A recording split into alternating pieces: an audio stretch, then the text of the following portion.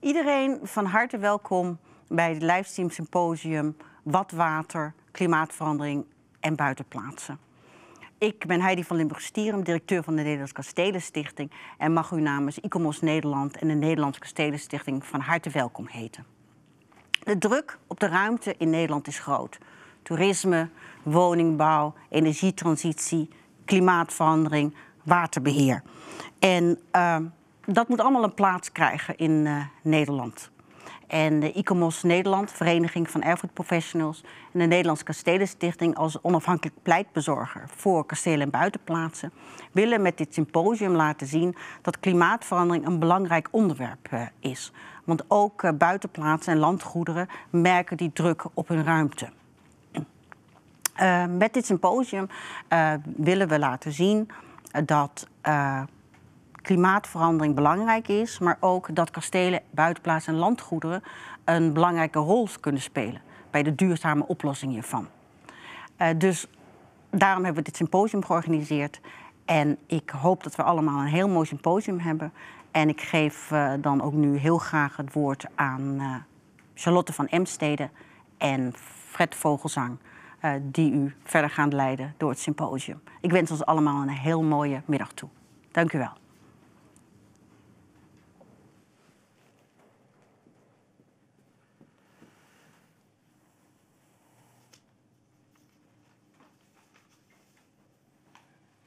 Welkom, beste mensen.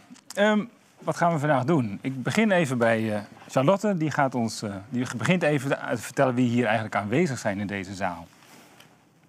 Ja, dames en heren, van harte welkom. We hebben een heel mooi programma voor u uh, op stapel staan. Met een paar hele bijzondere sprekers. En die ga ik eerst bij u introduceren. Rechts van mij zit Erik Luiten. Die zal een van de keynotes geven. Hij is particulier landschapsarchitect. En hoogleraar erfgoed en ruimtelijk ontwerp aan de TU Delft. Naast hem zit Natasja, van, Natasja Lensveld. Zij is specialist groen erfgoed bij de Rijksdienst voor het Cultureel Erfgoed. En zij zal aansluiten bij de discussie. Als we naar de andere kant van de tafel gaan, dan zien we daar eerst Elise Storm Smeets. Zij is buitengewoon universitair hoofddocent cultureel erfgoed en participatieve ruimtelijke ontwikkeling in Wageningen. Ook zij zal een van de keynotes gaan geven. En naast haar zit Ben Oldemeierink. Hij is de tweede expert die vandaag bij de discussie zal aansluiten. Hij is bouwhistoricus en hoofdonderzoek bij NKS. Fred. Ja, uh, op weg uh, hierheen. Um, u zit waarschijnlijk allemaal thuis en lekker, uh, lekker droog. heb ik 2,5 uur door de gietregen gereden. En um, dat is eigenlijk voor het eerst sinds maanden dat het heel erg nat is in Nederland. De, de, jaren hiervoor is het ontzettend droog geweest. Drie jaar lang is er veel te weinig regen gevallen. En pas nu, na al deze maanden regen, is het niveau van het grondwater weer een beetje op orde. Nou, dat laat al heel snel zien, of heel precies zien, wat er hier aan de hand is. We hebben echt een uh, last van een klimaatverandering. Daar wordt op allerlei manieren nu aandacht aan besteed. En daar moeten wij als mensheid iets mee. En ook als eigenaren van erfgoed moeten we daar wat mee. En uh, het is niet alleen maar een probleem, het kan ook een oplossing zijn. En daar willen we vandaag eigenlijk een soort, soort scala van mogelijkheden en problemen aan u laten zien. Om op die manier, uh, als het ware een soort van bewustwording en een beter uh, onderling contact tussen allerlei partijen die te maken hebben met water en erfgoed tot stand te brengen. Zodat we misschien samen deze enorme opgave uh, tot een uh, goed einde kunnen brengen. Uh, hoe we dat precies gaan doen, gaat Charlotte kort uitleggen. Ja, die leef- en denkwerelden van erfgoed en water bij elkaar brengen is een van de belangrijkste doelen van vandaag. En we hebben daarom ook een paar bijzondere sprekers uitgenodigd die dit thema vanuit verschillende invalshoeken zullen gaan belichten. We beginnen zo met een korte casus, een filmpje. Daarin wordt getoond nou ja, wat er mogelijk is als we gezamenlijk die opgave gaan aanpakken. Daarna krijgt u een eerste deel te zien van de keynote-lezing door Elise Storm-Smeets. Zij zal ons meenemen in de wijze waarop uh, in het verleden, de heden en de toekomst uh, water een verbindend element is, is geweest en nog steeds zal kunnen zijn in de opgave waar we voor staan. Erik Luiten, die zal gaan spreken over verschillende benaderingen posities en strategieën waarmee we te maken krijgen als we met dit soort opgaven aan de gang zijn. Uh, binnen welke kaders bewegen we ons dan? Hoe maken we afwegingen? En daar kunt u uh, uh, over meedenken in de discussie uiteindelijk. Zoals ik zei, de keynotes worden afgewisseld met filmpjes, de casuïstiek, hele interessante voorbeelden over hoe gaan we met water en erfgoed gezamenlijk om. En we sluiten vervolgens deze dag af met een discussie. En dan komt u in beeld als deelnemers. U kunt via de chat uw vragen stellen. En bij de discussie gaan we er interessante vragen uitpikken. En die zullen we hier met de verschillende deelnemers gaan bespreken. En ik wil u vragen om naast de vraag ook uw naam en indien u dat wilt, de organisatie waartoe u behoort te vermelden. Maar we gaan nu eerst over naar het eerste filmpje. Diana Spiekhout.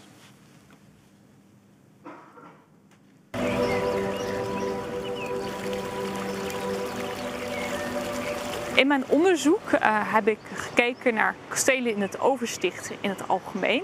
Maar ik heb ook twee case studies verricht. En een van die case studies die ging over het gebied Zuidwest-Twente. Wat ik daar onder andere gedaan heb, is geprobeerd om het landschap zo goed mogelijk in kaart te brengen in uh, de middeleeuwen. En dan heb ik het niet alleen over het natuurlijke landschap, maar ook over de ligging van nou ja, het gegraven waterlopennetwerk en ook over ja, de wegen en de boerderijen. Dat heb ik allemaal met elkaar proberen te combineren. En vervolgens proberen te kijken hoe het kasteel en landschap, hoe die eigenlijk elkaar beïnvloeden door de tijd heen. Wij kunnen van de middeleeuwse situatie veel leren. Ik denk in eerste instantie dat op het moment dat de mensen ergens mee bezig gaan, dat dan de balans wordt verstoord. En dat zien we tegenwoordig nog steeds terug in actuele thema's, bijvoorbeeld de klimaatcrisis. Maar we zien ook dat het landschap continu aan verandering onderhevig is door menselijk ingrijpen. Rond het jaar 1000 was hier een doorstroommoeras. Vervolgens is in de 12e, 13e eeuw eerst zijn er heftige ingrepen geweest in de waterhuishouding, waardoor er in één keer beeklopen waren. En vervolgens, uh, ja, rond 1400, is hier de Schipbeek gegraven. En de Schipbeek die heeft ervoor gezorgd dat het hele natuurlijke verval van het water anders ging lopen. Dus dat heeft tot op de dag van vandaag de waterhuishouding in dit gebied sterk beïnvloed. In deze streek heb je eigenlijk met een kastelenlandschap, zelfs vandaag de dag nog, te maken.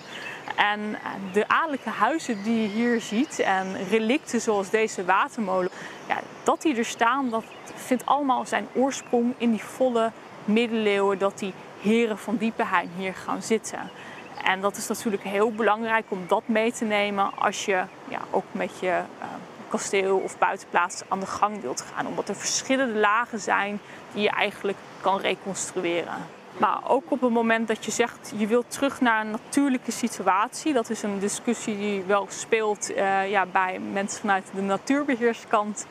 Uh, wat is dan die oorspronkelijke situatie? Um, nou ja, in dit geval zou iedereen het erover eens zijn dat die beken die we hier zien prachtig eruit zien in heel natuurlijk ogen. Maar ze zijn niet natuurlijk. Als je terug wilt naar de oorspronkelijke situatie, dan zou je hier naar de doorstroommoerassen terug moeten. Het is maar net welk moment je in de tijd neemt.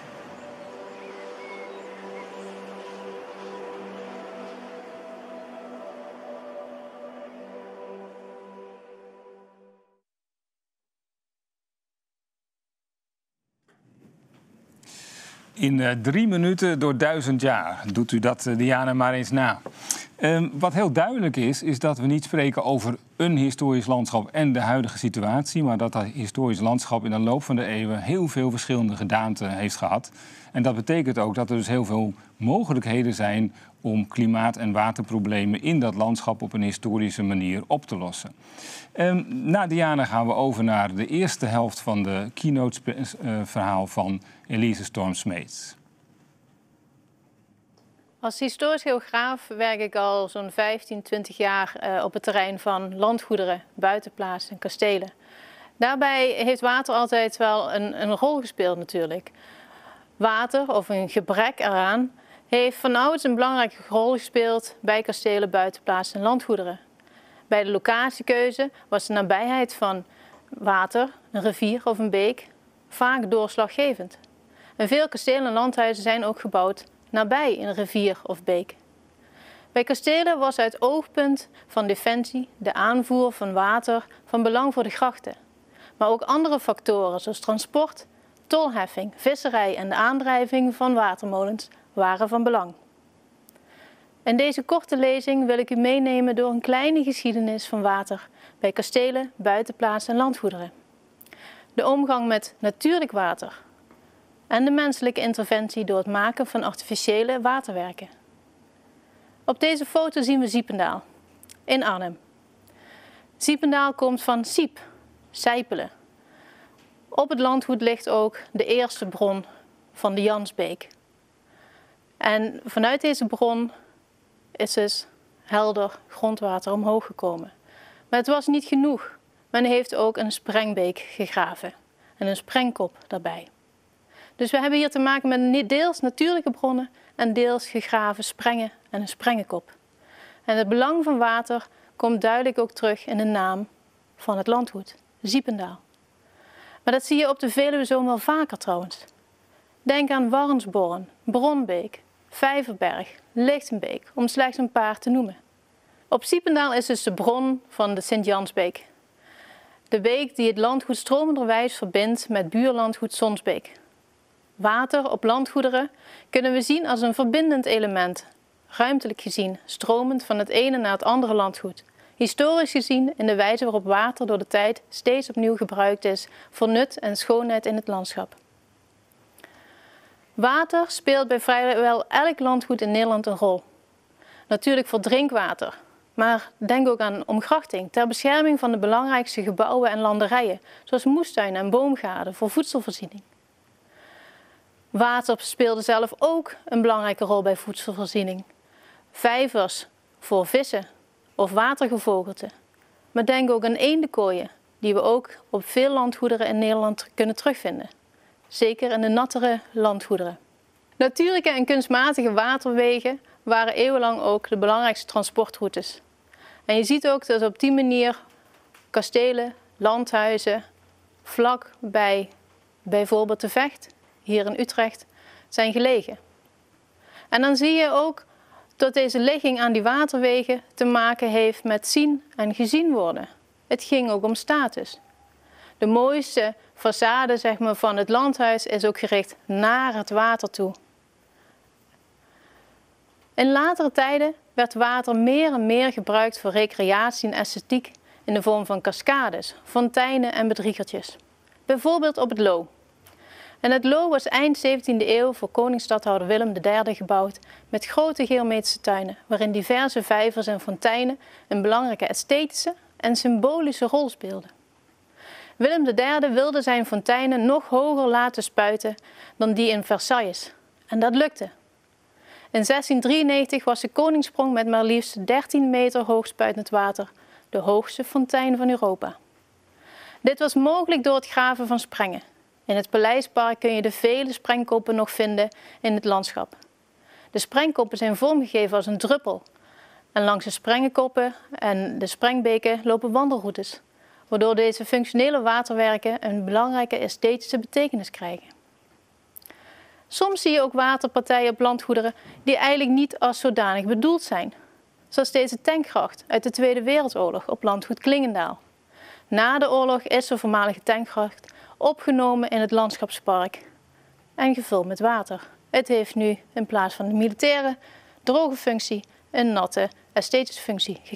Het mag duidelijk zijn de manieren waarop water gebruikt werd bij kastelen, buitenplaatsen en landgoederen is enorm divers. Dit lijstje is zeker niet volledig, maar toont verschillende wijzen waarop water een rol heeft gespeeld en nog steeds speelt. Dit is te koppelen aan territoriale, economische, sociaal-maatschappelijke, landschappelijke en esthetische factoren. Belangrijk daarbij is te kijken naar landgoed als geheel, als ensemble, gelegen in een groter cultuurlandschap. In deze korte lezing gaat het te ver om dit alles nader te bekijken, dus ik neem u nu mee naar het Valkenburgse Geuldal, waar de geul als levensader door een eeuwenoud landgoederenlandschap stroomt. Tussen Valkenburg en Oud-Valkenburg liggen meerdere kastelen en landgoederen. Genhoes, Chaloen, Oost en de kasteelruïne van Valkenburg. Genhoes, het huis, is het oudste Het kasteel is als versterkte hoeve gesticht aan de oorspronkelijke loop van de Geul, thans de Molenbeek.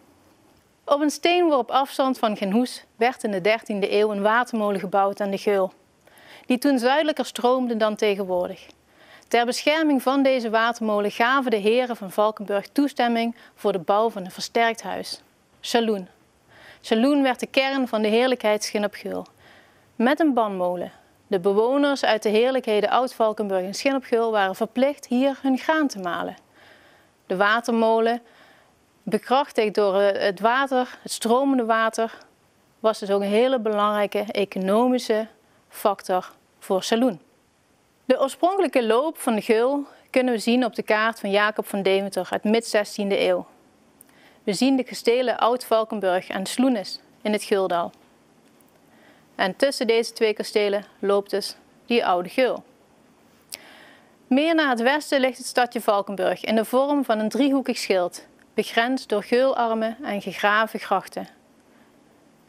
De zuidelijkste punt van dit schild is de zogeheten Heunsberg, waar omstreeks 1115 een kleine burcht werd gebouwd. De burcht lag op een strategisch belangrijke plek, nabij de cruciale handelsweg van Keulen en Aken naar Maastricht en verder westwaarts naar Luik en Brussel.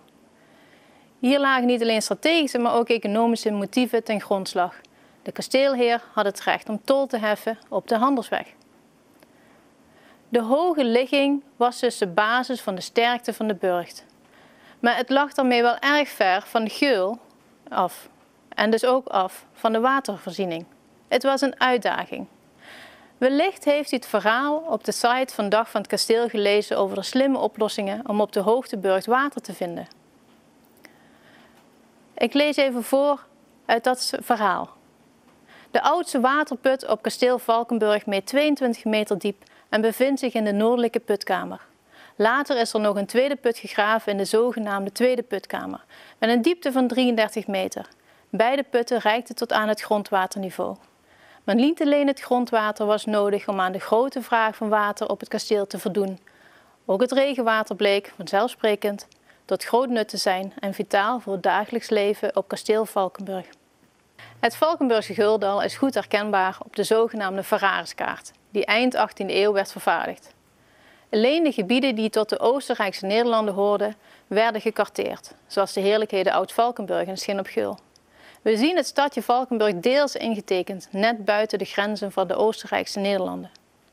De kaart toont ons de twee dicht bij elkaar gelegen kastelen Genhoes en Saloon. Grachten en visvijvers lagen direct rondom de kastelen. Aan de noordkant van Saloon werd, waarschijnlijk in de 17e eeuw, een nieuwe geultak gegraven, waardoor de geularm bij de watermolen beter beheersbaar werd. Hierdoor kwam Saloon tussen twee geularmen te liggen. Ten westen van Saloon zien we in de beemde, de natte, drassige gronden, die als hooiland werden gebruikt, zien we verschillende rechthoekige waterpartijen. Dit waren de visvijvers van het aangrenzende landgoed Oost. Bij Oost lag een complex van verschillende visvijvers in de Beemde. Dit zal meerdere redenen hebben gehad. Na enkele jaren van gebruik was het verstandig om een vijver leeg te laten lopen, schoon te maken en een zomer ongebruikt en leeg te laten liggen. In het complex van vijvers maakte men een onderscheid tussen kweek, groei en bewaarvijvers. Laatste genoemde waren vijvers met vissen groot genoeg voor consumptie.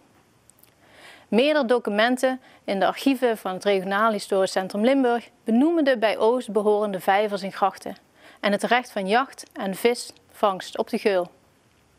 Bij een geschil in de 17e eeuw werd melding gemaakt van een rat op de geul om water te scheppen voor het verversen van het water in de vijvers bij het huis. Meer zuurstofrijke, doorstroomde vijvers verhoogden de productie. Het ging dus niet alleen om de kwantiteit, maar ook de kwaliteit van water. In de 18e eeuw maakte eigenaar Baron van Hammerstein een gedetailleerd overzicht van de visvijvers op Oost. In het jaar 1731 werden maar liefst 291 karpers, 167 maaskarpers, 10 snoeken en 6 baarsen gevangen. De gevangen vis werd voor eigen consumptie of voor feesten gebruikt, maar ook als geschenk, bijvoorbeeld aan de pastoor van Schin op. Vis was een belangrijke bron van eiwit, en tevens kan men een koppeling maken met het katholieke geloof, waar de kerk vleesloze dagen voorschreef. Vandaar dat er een hoge concentratie van visvijvers in Zuid-Limburg uh, aanwezig is. Vooral bij kloosters, kastelen en omgrachte huizen. Volgens historisch geograaf Hans Renest was de aanleg van visvijvers alleen weggelegd voor de elite. De vijvers waren een statussymbool voor de eigenaren en het ging om een aanzienlijke investering. De vissen moesten gevoerd worden en het onderhoud en schoonmaken van de vijvers moest regelmatig gebeuren, zoals ook blijkt uit de archieven van Oost. Later eigenaren lieten de visvijvers in de Beemde verlanden en ook nabij het landhuis verdwenen de waterpartijen.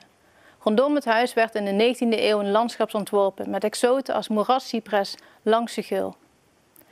Het landschapspark liep visueel door in de Beemde dankzij zichtlijnen en de aanplant van zogenaamde tweelingpopulieren. In de Beemde zijn eigenlijk gebieden die in de erfgoedwereld nog weinig aandacht krijgen, zeker in relatie tot schoonheid en nut van een landgoed. En als we het dus over watererfgoed hebben, dan is het interessant om breder te kijken. Dus ook naar die natte landerijen met bijbehorende vegetatie. Tot zover dit korte historische overzicht voor het Valkenburgse Guldal. Met diverse wijzen van omgang met water. De geul was daarin de verbindende factor, ruimtelijk en historisch gezien.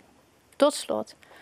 Samen met een collega heb ik vorig jaar voor gemeente Valkenburg een cultuurhistorische analyse gemaakt van de landgoederen in het Geuldaal. De geul was en blijft de levensader van dit gebied. En in gesprek met bewoners kwam hun trots naar voren. Het sterk meanderende riviertje is bepalend voor de identiteit van het gebied en van de inwoners. Een van onze aanbevelingen ging ook over de Beemde. In het verleden zijn delen getransformeerd tot woonwijk, sportpark of recreatieplas. Maar er resteren nog grote delen. Dat beemde landschap kun je een rol geven in klimaatadaptatie, natuurontwikkeling en recreatie. En door simpelweg historische zichtlijnen van Kasteel Oost over de Geul naar de Beemde te herstellen en tweelingpopulieren terug te brengen, kan dit historisch natte landgoedlandschap weer in samenhang gebracht worden met de kern van het landgoed.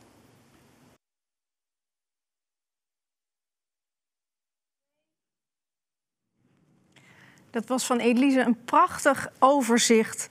Wat ons weer eens bewust maakt van de vele elementen die met water te maken hebben op kastelen en buitenplaatsen. En soms herkennen we die elementen niet eens meer. Dan zijn ze zo opgegaan in het landschap dat ze er echt onderdeel van uit zijn gaan maken. Wat ook zo mooi is in het eerste deel van haar verhaal, is dat het belang van water voor buitenplaatsen zo goed naar voren komt.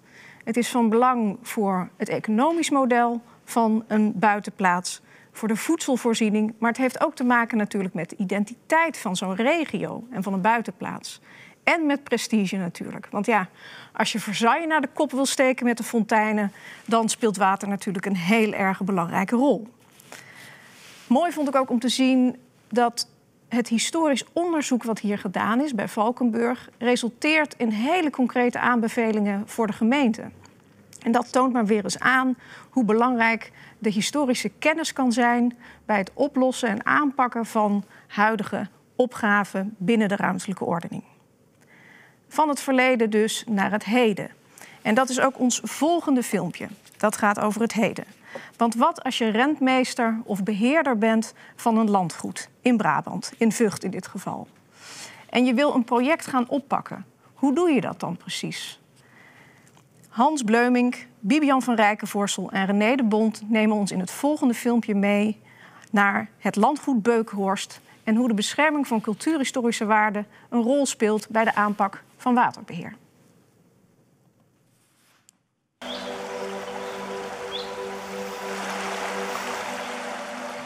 Met de landgoedeigenaren hebben we bezwaar gemaakt eh, destijds eh, tegen de waterbeheerplannen van provincie en waterschappen. Landgoederen die kregen te maken met ehm, piekafvoeren, met hogere ehm, waterstanden van beken die water afvoeren. Waardoor delen van die landgoederen blank komen te staan door die hogere piekafvoeren. Gelukkig heeft de provincie toen gezegd: oké, we gaan uh, jullie helpen met een pilot.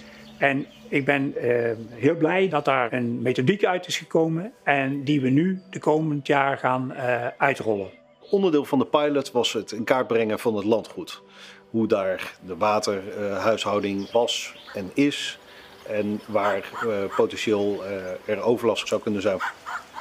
De grenzen houden natuurlijk niet op bij het landgoed. Men moet veel breder gaan kijken. Het landgoed is in 1800 uh, aangelegd en toen was er sprake van een andere waterhuishouding uh, rondom het landgoed. Maar de waterhuishouding op het landgoed is eigenlijk nooit echt uh, veranderd.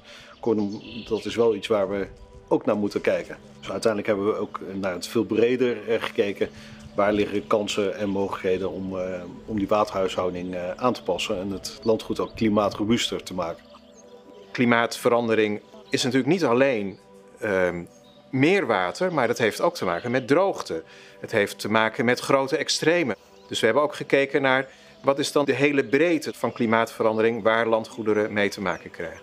Op basis van de methodiek uh, hebben we dadelijk een, een, een beeld welke waarden in, het geding zijn, uh, wat de eigenaren van plan zijn, wat hun ambitie is. En op basis daarvan uh, hopen we dus in 2022 plannen klaar te hebben. Zodat eigenaren deze kunnen indienen bij het waterschap en bij de provincie.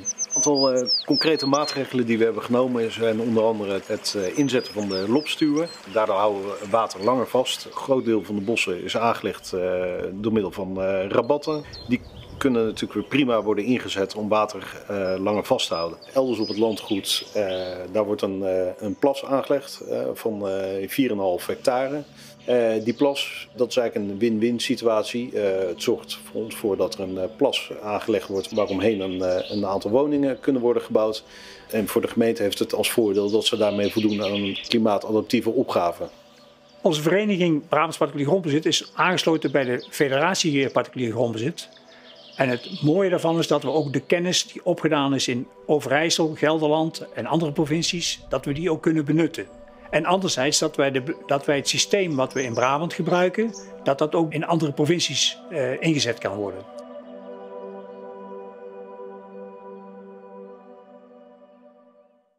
Goedemiddag, um, ik ben Erik Luit. Ik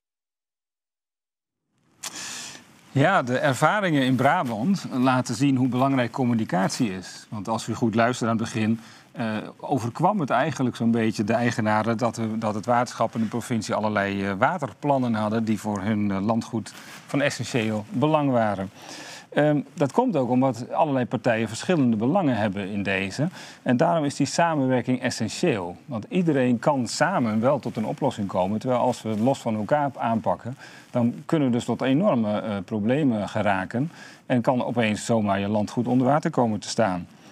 Dus eigenaren, instellingen, politiek zouden veel vaker en veel intensiever en waarschijnlijk ook in een veel eerder stadium uh, elkaar uh, op de hoogte moeten stellen van de plannen, van de mogelijkheden, om op die manier uh, samen tot een oplossing te komen. En wat ook heel duidelijk bleek uit Brabant, dat het niet beperkt is tot één provincie. Dus dat samenwerking tussen provincie en het uitwisseling van kennis en ervaringen daarin heel belangrijk zijn. Een breder kader daarvan zal Erik Luiden, Luiten ons geven in, zijn, in de eerste helft van zijn keynote spreek. Goedemiddag, um, ik ben Erik Luiten. Ik heb met plezier toegestemd in het leveren van een presentatie, een soort spreekbeurt voor, voor u allemaal. Um, en heb gedacht, nou laat ik eens wat achtergronden schetsen. Achtergronden van het waterbeheer in Nederland, waarom dat een belangrijke historische factor is en hoe je daar als erfgoedbeheerder en erfgoedbeschermer mee om zou kunnen gaan. En ik dacht ook, uh, nou, dat is een mooie gelegenheid om de kluwen waarin we met z'n allen toch uh, zitten. Hè? Wat, wat, is, wat staat ons te doen hè? In het, in, als, als erfgoedbeschermers in die context van waterbeheer en, en, waterpolitiek om die kleur wat te ontwarren. En u daarmee wat te helpen om uw eigen positie te bepalen, ook in dit, in dit werkveld. Het eerste deel, is eigenlijk het eerste deel van mijn, van mijn uh, presentatie, gaat eigenlijk over twee dingen. De, de manier waarop eigenlijk het belang van waterbeheer voor de geschiedenis van de Nederlandse topografie tot expressie komt. Ik heb daar voorbeelden voor verzameld. En daar ziet u hier een paar van. Dit is uit de oude doos. Respectievelijk polder Masterbroek bij, bij Zwolle en de ontginning van de polder De Zijpe in Noord-Holland. Um, om daarmee eigenlijk aan te tonen of te illustreren vooral hoe, laten we zeggen, omnipresent die, die waterfactor eigenlijk in de Nederlandse geschiedenis en in het Nederlandse landschap aanwezig is. nog meer voorbeelden. Hier even eentje die het zowaar tot wat werelderfgoed heeft geschopt. Het is interessant dat uh, werelderfgoederen in Nederland overwegend watergerelateerd zijn, waterbeheer gerelateerd zijn. Dus dat zegt eigenlijk al iets ook over hoe wij als Nederlandse uh, natie nadenken over met wat voor soort relicten, artefacten, systemen en patronen wij aan bezoekers van Nederland en aan onszelf duidelijk willen maken wie wij zijn en waar wij vandaan komen. Dat hangt sterk samen met de geschiedenis van het Nederlandse waterbeheer. Ook vind ik het relevant om dan ook de, niet alleen de geslaagde droogmakerij, maar ook de mislukte droogmakerij onder de aandacht te brengen. Dit is de Naardermeer, het Naardermeer. Een, een, een project zo groot ongeveer als de Beemster, maar vanwege het kwelwater uit Utrechtse Heuvelrug gedoemd te mislukken. En wat is mislukken? Het is een van de belangrijkste natuurgebieden van Nederland geworden. Oude sluizen, een van de alleroudste in, in de Vecht. Naast een wat minder oude, uit de 19e eeuw, de Waaiersluis bij Fort Asperen. Een, uh, een, een, een, een echte uitvinding, zou je kunnen zeggen, een waterbouwkundige uitvinding. In de context van het, uh, het inundeerbaar maken van grote stukken land als onderdeel van de Nieuwe Hollandse Waterlinie. Nou, dus ook recenter, uh, grootschalig reuzenwerk zou je kunnen zeggen. De stuw in de Lek en de Oosterscheldekering in Zeeland, onderdeel van de Deltawerken. Eigenlijk zou je kunnen zeggen, dit is maar een hele lichte selectie, is eigenlijk al het materiaal, uh, laten we zeggen, de bewijsvoering van uh, het feit dat wij als Nederland in dat waterbeheer, nationaal en internationaal, een toontje mee mogen fluiten. Dus dat is even ter, uh, laten we zeggen, ter onderbouwing van het belang van waterbeheer voor de geschiedenis van Nederland. En daarmee dus ook het waterbeheer als opgave voor de erfgoedsector. Wat ik uh, geleerd heb en waar ik ook over gepubliceerd heb de afgelopen jaren, is dat er eigenlijk drie parallele benaderingen zijn te onderscheiden in hoe um, overheden, maatschappelijke organisaties en ook particulieren omgaan met dat erfgoed.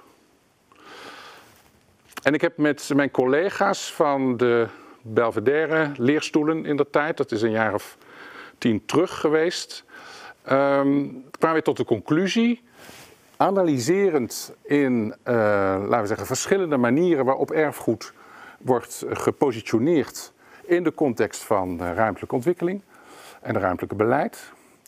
Uh, en geconstateerd dat er drie benaderingen naast elkaar bestaan. We noemen die erfgoed als sector, erfgoed als factor en erfgoed als vector. Dat bekt ook goed, hè? dat is natuurlijk ook interessant. U kunt het waarschijnlijk, als u dit één keer even geoefend hebt, ook gewoon thuis navertellen. Sector, factor en vector. Dat zijn eigenlijk de drie manieren waarmee je uh, dat erfgoed kunt beschouwen in een context van ruimtelijke ontwikkeling, ruimtelijke planvorming en ruimtelijk beleid. Op de volgende sheet wordt dat, laten we zeggen, de eigenschappen of de kenmerken van die sectorbenadering uitgelegd. Ik denk dat velen van u zich hier verwant bij voelen.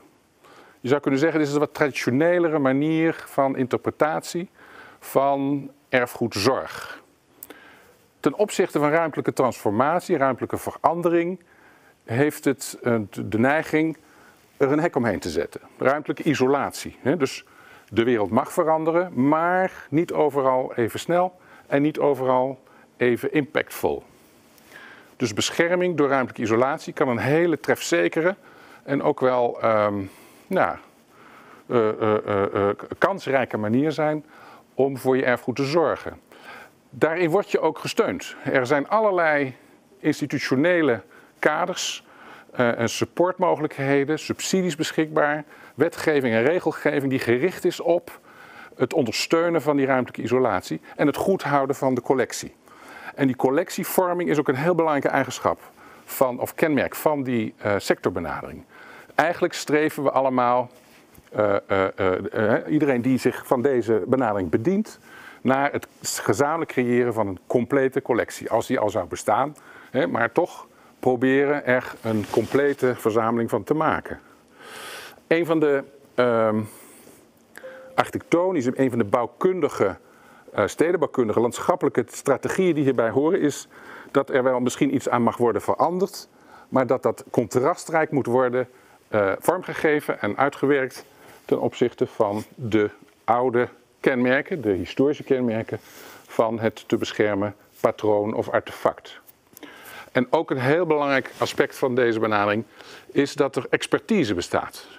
Hooggeleerde mensen die ervoor doorgestudeerd hebben om u en ons te vertellen waarom iets uh, historisch relevant is, historisch waardevol is en dus beschermd moet worden. Dus een soort onbesproken, uh, laten we zeggen, uh, hoogopgeleide expertise. En daarin zie je ook, ten opzichte van de verschillende hogescholen en universiteiten in Nederland, zie je ook niches. Hè? Dus Leiden is goed in de Romeinse tijd, um, Nijmegen is goed in de middeleeuwen enzovoort. Zo, zo, zo wordt zeg maar die, die historische tijd wordt eigenlijk een beetje verdeeld over de verschillende onderzoeks- en onderwijsinstituties. Waardoor ook het, laten we zeggen, de deskundigheid zich min of meer in den brede blijft uh, ontwikkelen. E even geïllustreerd, twee willekeurige voorbeelden, niet helemaal willekeurig, omdat ze natuurlijk wel par excellence die, die, die aanpak belichamen. De, de beide gevallen een minuscule, conscientieuze, precieze restauratie in slash reconstructie van een uh, historisch artefact. dus hier is de geschiedenis nog steeds de baas over wat er met deze twee objecten zou moeten gebeuren. Ik denk dat de factorbenadering um, zijn, laten we zeggen, altijd al een beetje in de uh, erfgoedzorg uh, herkenbaar is geweest. Um, maar de laatste 20, 30 jaar wat aan omvang en wat betekenis heeft gewonnen. Het gaat hier met name om het opbouwen van een, wat ik maar een nuttige verzameling van oude spullen noem. Hè. Dus uh, we zijn nog steeds aan het verzamelen, maar niet alles is even relevant voor of in de context van een voornemen om iets maatschappelijk nuttig te maken. En daardoor ontstaan er allerlei noodzaken of behoeftes of vragen naar selectie. Op basis waarvan, van welke selectiecriteria kunnen we nu met elkaar uh, uh, uh, vaststellen of een bepaalde erfgoedkwaliteit uh, handhaafbaar te maken is of inzetbaar te maken is in een bepaald project, dan wel kan worden afgeschreven als zijnde niet meer zo nuttig en niet meer zo betekenisvol. Dat betekent ook dat in deze benadering uh, objecten en context wat nadrukkelijker op elkaar zijn ge gekoppeld. Hè? Dus je kunt een deel van je mening en je oordeel en je verwachting van een bepaald historisch artefact ook koppelen aan wat er in de omgeving verder nog gebeurd is, zeker gebeuren moet. Actieve herbestemming is een hele belangrijke component van die factorbenadering. Er is een historisch relict. We komen er met z'n allen achter dat dat betekenis kan krijgen in een, nieuw, in een nieuwe context, in een groot project of een programma dat op gang gaat komen. En daar hoort bij dat je het ook durft te herbestemmen. dat je van een kerk een skatebaan durft te maken of een boekenwinkel uh, enzovoorts. Dat je dat soort, dat soort uh, uh, shifts, dat soort verschuivingen ook mee durft te nemen in de plannen die gaan over bijvoorbeeld stadsvernieuwing of nog ruimer ge ge gezien gebiedsontwikkeling. Selectie is hier een belangrijk adagium. Hè? Dus bij de vorige was het collectie, hier is het selectie. Je durft te kiezen wat wel mee mag doen en mee mag blijven doen en wat je gevoeglijk kunt afschrijven en daarmee ook slopen. Dat is de factorbenadering. Dit zijn twee relatief actuele voorbeelden van die factorbenadering. Ik zei al, het is een benadering die eigenlijk de laatste 20, 30 jaar wat aan, uh, aan kracht wint. En ook aan, uh, aan ondersteuning. Omdat die ook met name door uh, de wereld van het vastgoed als een hele interessante en serieuze optie is omarmd. Hier voorbeelden uit uh, respectievelijk uh, Den Helder bovenin en Tilburg onderin. Den Helder, dat is natuurlijk al veel langer een doorn in het oog van zeezeilers die de Noordzee bezeilen. Die komen dan in Bremen aan, bijvoorbeeld uit Denemarken. En dan blijkt dat ze helemaal om de Nederlandse kust heen moeten varen tot in Scheveningen. Voordat ze weer een fijne, complete haven en, en stad eh, kunnen vinden. En dat, is in, da dat was eigenlijk de niche waarin Den Helder is gesprongen met hun Willemswerf. Dit was een oude marinewerf. je ziet het nog een beetje aan de, aan de architectuur, een beetje kazerneachtige architectuur. En hier is, omdat de marine zich uit Den Helder gaandeweg heeft teruggetrokken, kwam heel veel grond en heel veel vastgoed vrij. En hier is door slimme ontwikkelende partijen samen met de gemeente en het Rijk eens gaan kijken, goh, wat van deze, grote, dit grote ensemble is inzetbaar in dat offensief naar het invangen van ook gewoon toeristische mensen. Ook als een complement of een, hoe zou je kunnen zeggen, een correctie op het weglekken natuurlijk van heel veel werkgelegenheid, heel veel bevolking vanwege het stoppen van die werfactiviteit. Dus een hele interessante, dus erfgoed, het militaire erfgoed in het bijzonder als hefboom voor de om, omschakeling van een, een, kleine, middelgrote stad in Noord, Noord-Holland, die, die niet altijd de wind mee heeft. En je ziet, je ziet het succes hier eigenlijk langslopen. Hè. Dit, dit, dit, dit werkt. Onderin een, een befaamd complex, de ontdekking van de gemeente Tilburg, dat er in die spoorzone niet alleen maar narigheid staat, maar ook prachtige juweeltjes van, van utilitaire architectuur dit is de zogenaamde lokhal, die door een ensemble van architecten eigenlijk is beetgepakt. En waar nu een bruisend eh, cultureel centrum in is gehuisvest met zalen, bibliotheek, theatervoorzieningen enzovoorts. Beide, denk ik, prachtige exemplaren van de factorbenadering in het, in het erfgoed. Dan de laatste van de drie vectorbenadering. Dat zie je ook de laatste jaren aan kracht toenemen. Um, in mindere mate is hier het expertiseoordeel, het, het, het doorgeleerde oordeel aan de orde. Hier gaat het veel meer om lekenexpertise. Er zijn groepen mensen die zich bepaalde elementen, bepaalde artefacten, bepaalde gebouwen of, of buurten, bepaalde kenmerken van een stad of een dorp uh, associëren met hun eigen bestaan, met hun eigen roots. Hè. Dat, het, het, het, los van of het in historische zin zeldzaam of bijzonder of uh, gaaf is, is het voor hen vooral betekenisvol. Zij koppelen aan dat soort materiële artefacten verhalen. Daarom is ook in dat verband van die vectorbenadering het idee van de biografie heel goed toepasbaar. De landschapsbiografie, die nu ook op verschillende uh, uh, gebieden, landschappen van Nederland wordt toegepast als een middel om te doorzien wat er in een gebied zich allemaal heeft voorgedaan. En uh, dat ook verklarend kan zijn voor de huidige situatie. De narratieven die daarbij horen, de verhalenlijnen die daarin te onderscheiden zijn. Dat is eigenlijk het instrumentarium waarmee die vectorbenadering nu wordt ingevuld. Het gaat dus ook om het zoeken van continuïteit tussen wat zich heeft voorgedaan, wat er zich op dit moment uh, afspeelt en van zichtbaar is, en wat de volgende stap zou kunnen zijn. Dus het volgende hoofdstuk in de biografie is, moet zich intelligent verhouden tot de voorgaande hoofdstukken. Dat is eigenlijk waar de vectorbenadering toe oproept. Het is dus samenlevingsinclusief. Het, is vaak, het gaat vaak om co-creatie. Het gaat vaak om initiatieven die vaak een wat hobbyistische of een wat heel, eh, heel, heel erg bottom-up-achtig karakter hebben. Maar die uiteindelijk toch ook echt succesvol kunnen uh, doorwerken. En ook daar heb ik twee voorbeelden van meegebracht.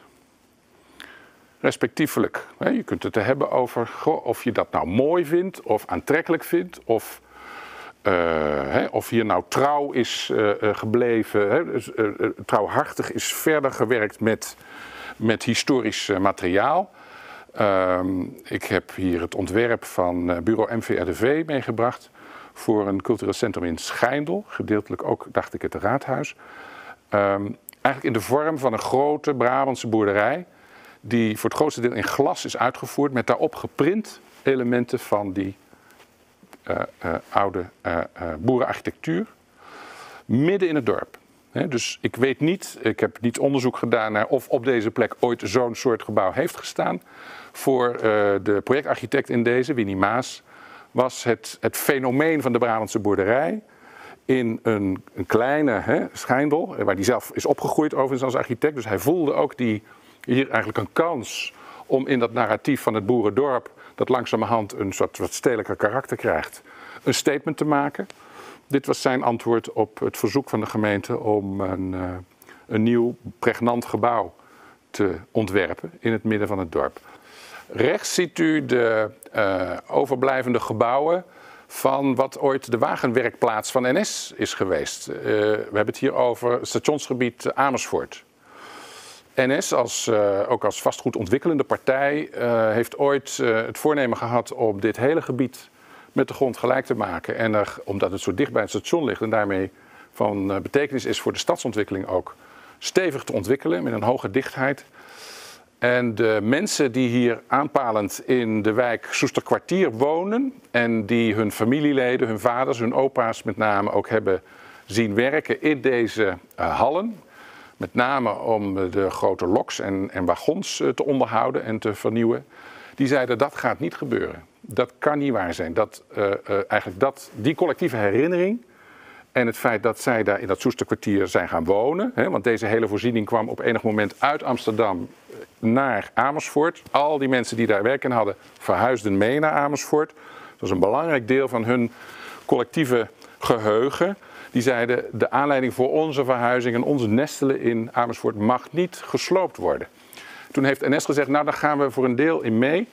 Laten we in ieder geval jullie de gelegenheid geven om een paar van deze grote gebouwen toe te eigenen. En dat is gebeurd. Op een hele liefdevolle manier hebben de mensen eigenlijk verschillende soorten activiteit en voorzieningen in die hallen weten te projecteren. Een deel is ook verhuurd aan andere eh, partijen, waaronder een aantal adviesbureaus. En daarmee is een heel gezellig soort uh, buurtschap eigenlijk ontstaan. Dicht bij die, uh, uh, dat, dat stationskwartier en, en het Soesterkwartier moet ik zeggen. Dus, en, ja, tussen het stationskwartier en het Soesterkwartier in. Met een hele eigenzinnige invulling. En ik denk dat ook die denk ik, illustratief kan zijn voor wat ik met de vectorbenadering benoem. Wel nu, hebben we eigenlijk die drie benaderingen in algemene zin. En u ziet me de voorbeelden vooral uit de architectuur grijpen. Even naast elkaar gezet. Wat ik straks zal doen is ze even projecteren op het waterbeheer. En kijken wat dat voor een inzicht oplevert.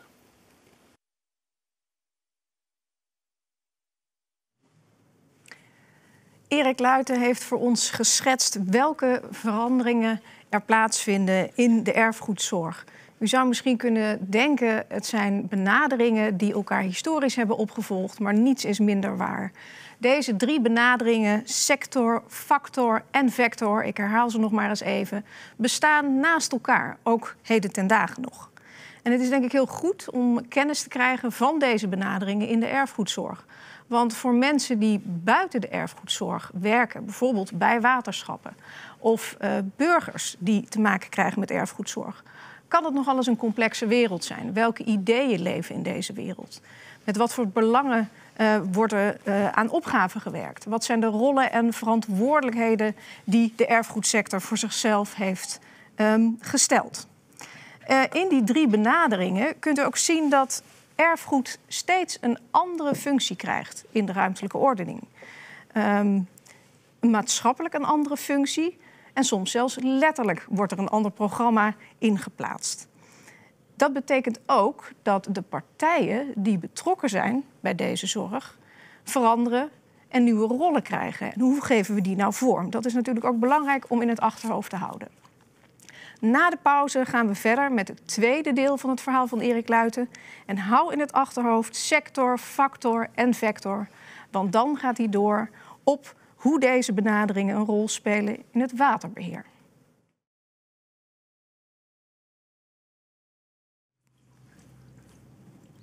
Welkom terug bij het Wat Water Symposium Kastelen, Buitenplaatsen en Klimaatverandering. Uh, voor de mensen die uh, nu pas uh, inschakelen, dit is de tweede helft. We komen zo meteen met vier korte en langere lezingen en daarna een discussieronde. En voor de mensen die voor de pauze al hebben meegekeken, die hebben natuurlijk de hele pauze thuis zitten oefenen op sector, factor en vector. waarschijnlijk kunt u thuis daar zelfs een liedje op zingen. Maar hoe ga je deze begrippen nu eigenlijk toepassen in de praktijk? Wat betekent het voor de waterpraktijk voor kastelen en buitenplaatsen? Daarover gaat de tweede helft van de keynote spreker, uh, speech van Erik Luiten. Die drie benaderingen waarmee je het erfgoed in Nederland een dienst bewijst, die laten zich ook projecteren op verschillende wateropgaven.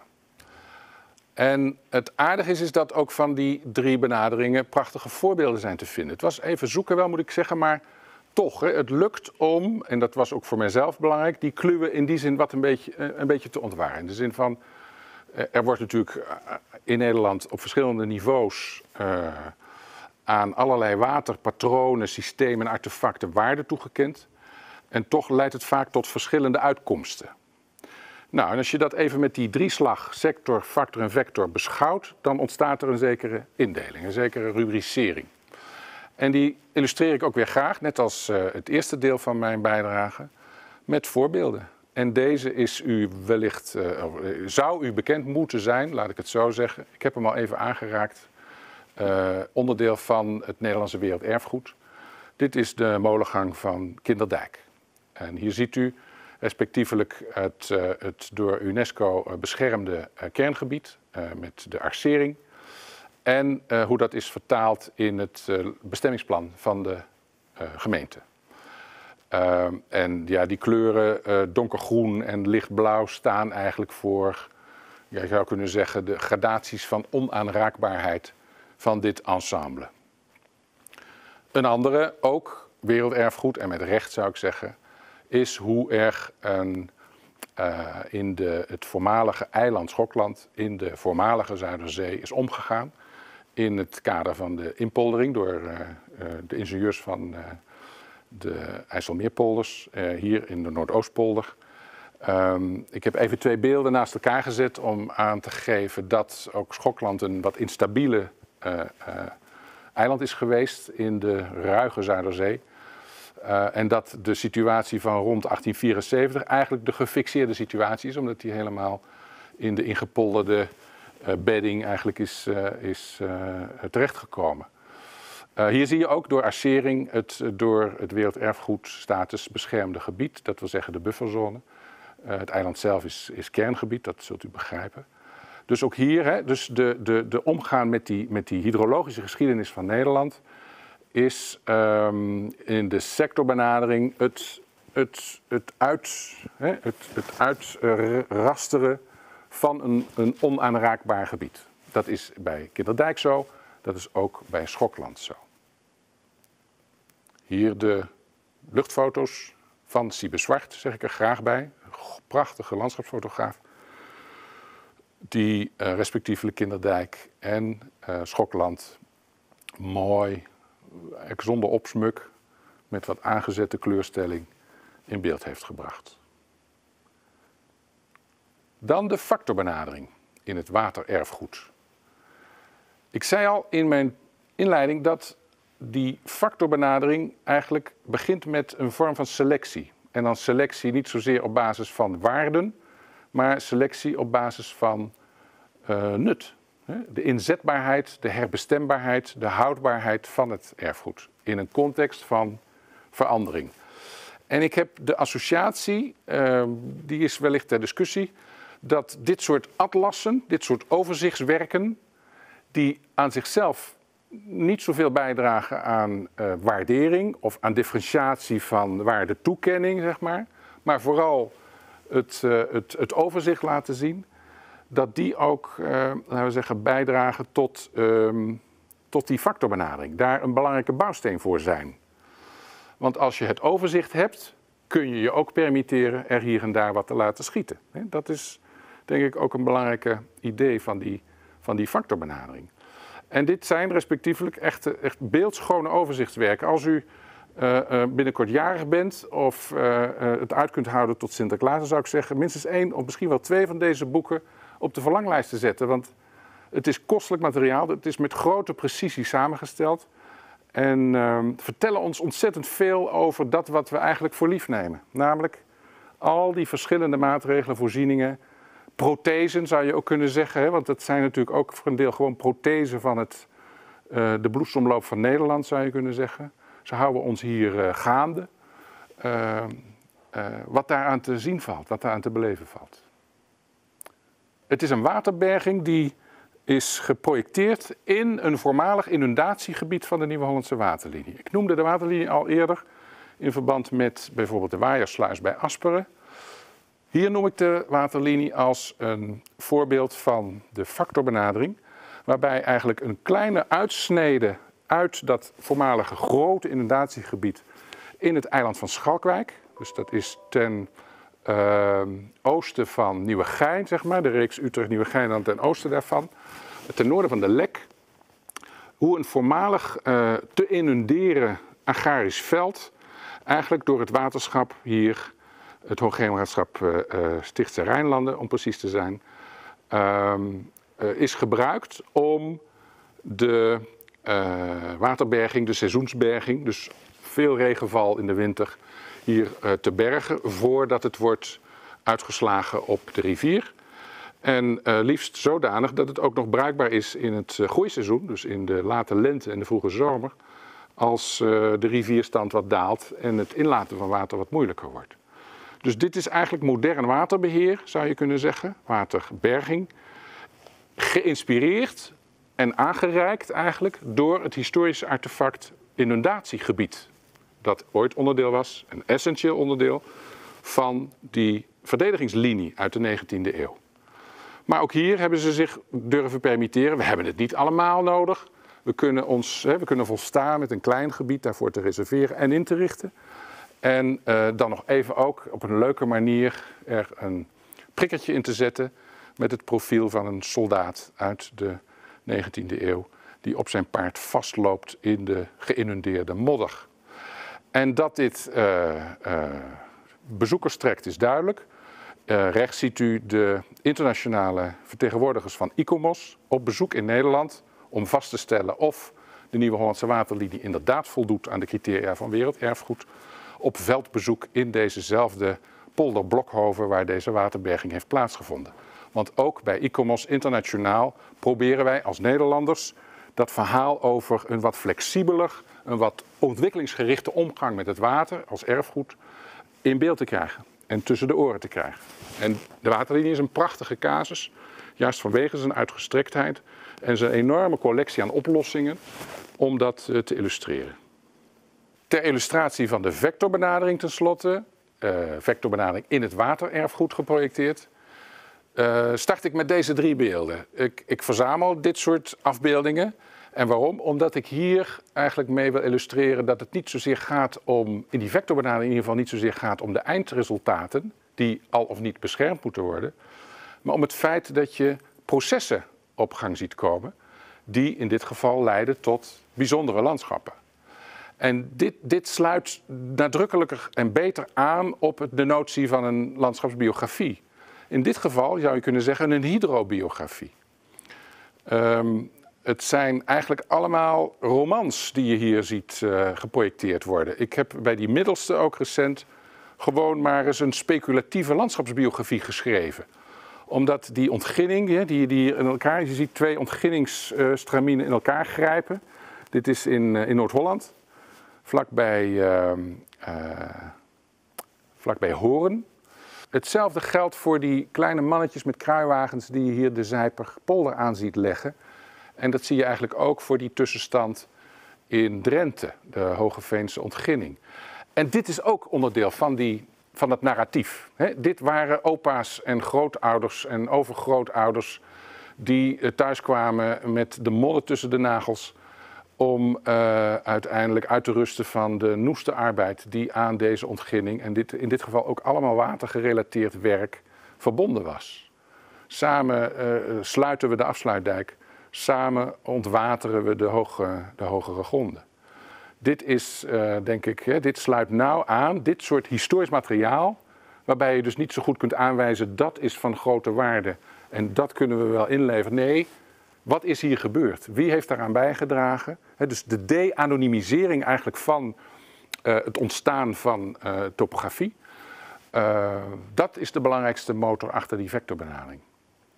En ook daar eigenlijk, hè, niet toevallig, die twee landschapsbiografieën, dat staan erin, dus, die zijn, as we speak, zijn ze in de making van andere grote gebieden. Ik heb ook begrepen dat alle nationale parken die een soort sweeper willen maken naar een, een hoger, een hoger relevantieniveau, opgedragen is om zo'n landschapsbiografie voor hun gebied te maken. En hier zijn er twee expliciet geprojecteerd voor, of ontwikkeld voor, uh, voor natte gebieden, voor het Waddengebied en het uh, Biesbos-Haink-Vliet complex. Dit is de manier waarop je ook vanuit een historisch perspectief rapporteert over de kwaliteiten van een gebied, maar dan als continuum gezien. Nou, dit is in mijn uh, uh, adviespraktijk van de afgelopen jaren ook, vind ik, een, voorbeeld van hoe een vectorbenadering kan werken in hoogwaterveiligheid. U kijkt hier uit het vogelvluchtperspectief op de Overdiepse polder. Dat is een gebied aan de Merwede dat mee moest doen in de verbreding van de rivier, de ruimte voor de rivierprogrammatuur. En hier was een plan getekend waarbij eigenlijk alle boeren zouden worden uitgekocht om die noordelijke uh, arm van de Merwede in geval van hoogwater de gelegenheid te bieden het hele gebied te overstromen. Daarvan hebben de boeren gezegd, die daar hun landerijen hadden, die hebben gezegd, daar zijn wij het niet mee eens. Wij willen hier blijven boeren, wij hebben een beter alternatief. Wij hebben hier altijd geboerd, wij willen dat blijven doen. Dus het volgende hoofdstuk moet niet een volgend of een ander soort deel van de biografie worden. Het moet binnen hetzelfde deel worden doorgeschreven. En het doorschrijven betekent dat wij ons op terpen gaan vestigen. Alle boerderijen zijn ter plaatse dus letterlijk opgetild en naar een terp verplaatst, dat wil zeggen nieuw gebouwd, waardoor dat hele land niet hoefde te worden aangekocht, maar in, alleen in geval van hoge nood een keer kan worden benut voor overstroming, voor waterberging van de rivier. Ik vind dit eigenlijk ook een prachtig voorbeeld van hoe een vectorbenadering, hè, dus dan gaat eigenlijk de, de, de lokale, de bottom-up logica, wordt uh, eigenlijk richtinggevend voor een oplossing die gaat over de uh, houdbaarheid van Nederland in relatie tot hoogwaterveiligheid. Ik sluit af. Door uh, eigenlijk u deze drie benaderingen aan te bieden. En u zelf de vraag te stellen, en misschien kunnen we dat in de discussie straks nog aanraken, hoe deze twee grote opgaven die beide in het Delta-programma zijn geagendeerd, namelijk hoogwaterveiligheid links in beeld en zoetwatervoorziening in heel Nederland rechts in beeld, hoe die twee grote, majeure opgaven, die linksom of rechtsom gerealiseerd moeten gaan worden de komende 30 jaar, hoe die zich verhouden tot die uh, grote en prachtige en waardevolle collectie van waterartefacten, watersystemen en waterpatronen in Nederland. En dit is dan op de schaal van Nederland, maar ik heb ook nog wat voorbeelden meegebracht van meer, lokale aard. Hoe, hè, hoe, hoe taxeren wij eigenlijk de toenemende rol van ontspanning, recreatie, stedelijke invloed op het landelijke gebied? Hoe verhoudt zo'n, het ontwerp van deze roeibaan, Prins Willem-Alexanderbaan, in Zuid-Holland zich tot die oude patronen van die doogmakerij hier en de dijken die hier omheen liggen. Hoe verhoudt deze deltadijk, die u onlangs ziet, uh, ziet uh, langskronkelen in de, in de dia, uh, bij het oeroude Munnikerland, dat hier eigenlijk zich voor uw ogen uitrolt. Hoe verhouden die twee zich tot elkaar? Welke balans is er te vinden tussen de noodzakelijk geachte zware dijk die hier dwars door het land gelegd moest worden. Tot de subtiliteit, de historische subtiliteit van dit grote gebied met aan de horizon slot Loevestein. En tenslotte, zoiets als een kaderrichtlijn water. De behoefte aan meer ecologische kwaliteit, aan het opwaarderen van de biodiversiteit langs de Nederlandse watergangen. Als dat water zo alomtegenwoordig is, dan is het natuurlijk ook een cruciale factor in de biodiversiteit van Nederland. En hier zie je de maatregelen die daarbij horen. En dit is vaak ook in de ogen van historici en erfgoedbezorgers een crime. Hè? Dit, dit mag je niet zo doen. En voor ecologen is het precies andersom. En daarmee is er ook een heel interessant uh, dilemma, in verband eigenlijk, tussen, uh, laten we zeggen, de verschillende strevingen in de samenleving. Welke erfgoedelijke benadering past bij deze noodzakelijke transformatie? En daarmee sluit ik af. Dank u wel.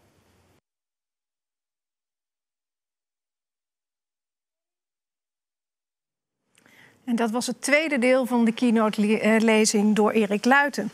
En uh, de drie benaderingen, sector, factor en vector, zijn hier geprojecteerd op de wateropgave. En hij deed een hele duidelijke oproep aan u en aan ons hier in de studio en aan u, het publiek, om na te denken over welke benadering past nou goed bij het oppakken van die grote opgaven waar we voor staan in Nederland, die grote wateropgaven.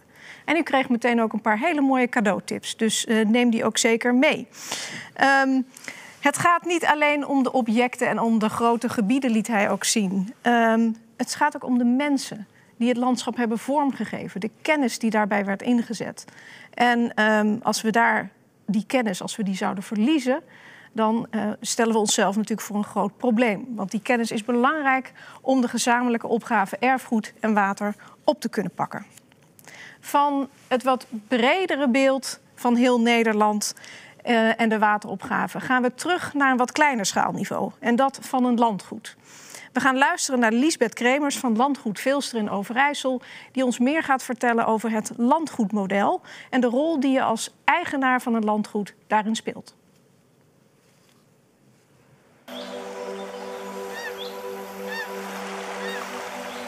Het landgoedmodel, dat is de manier van werken en denken zoals landgoedeigenaren dat eigenlijk uh, altijd gedaan hebben. Uh, en dat is denken in lange termijnen. Want je wil het toekomstbestendig, en dat betekent nu klimaatbestendig, overdragen aan de volgende generatie. Dus je moet niet in vijf jaren denken, maar in lange termijnen. En een landgoed zit uh, heel complex in elkaar. Dat zijn uh, cultuurhistorische eenheden die door de eeuwen heen gevormd zijn.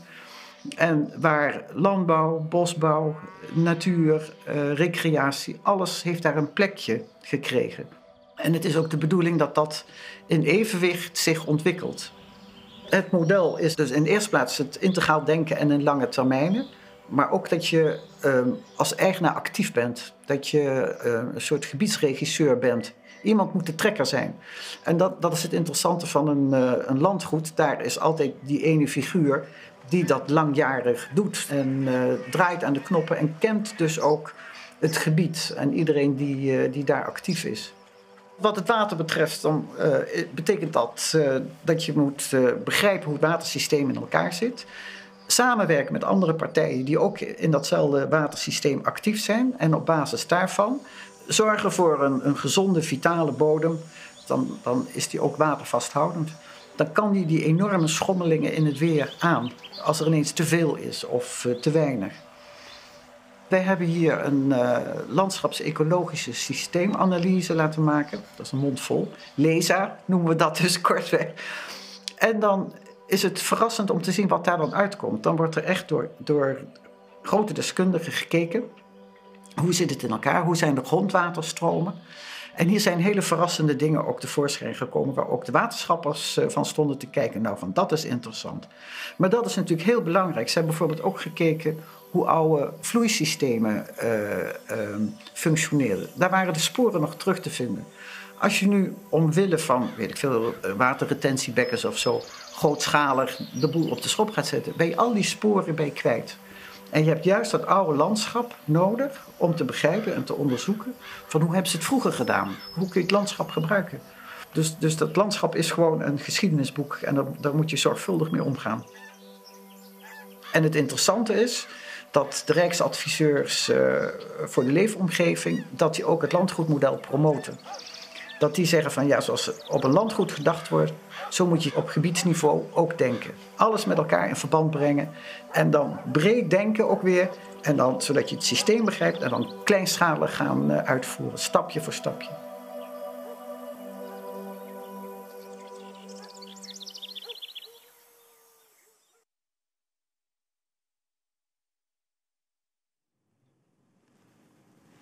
Ja, Lisbeth Kremers nam ons mee naar Vilsteren.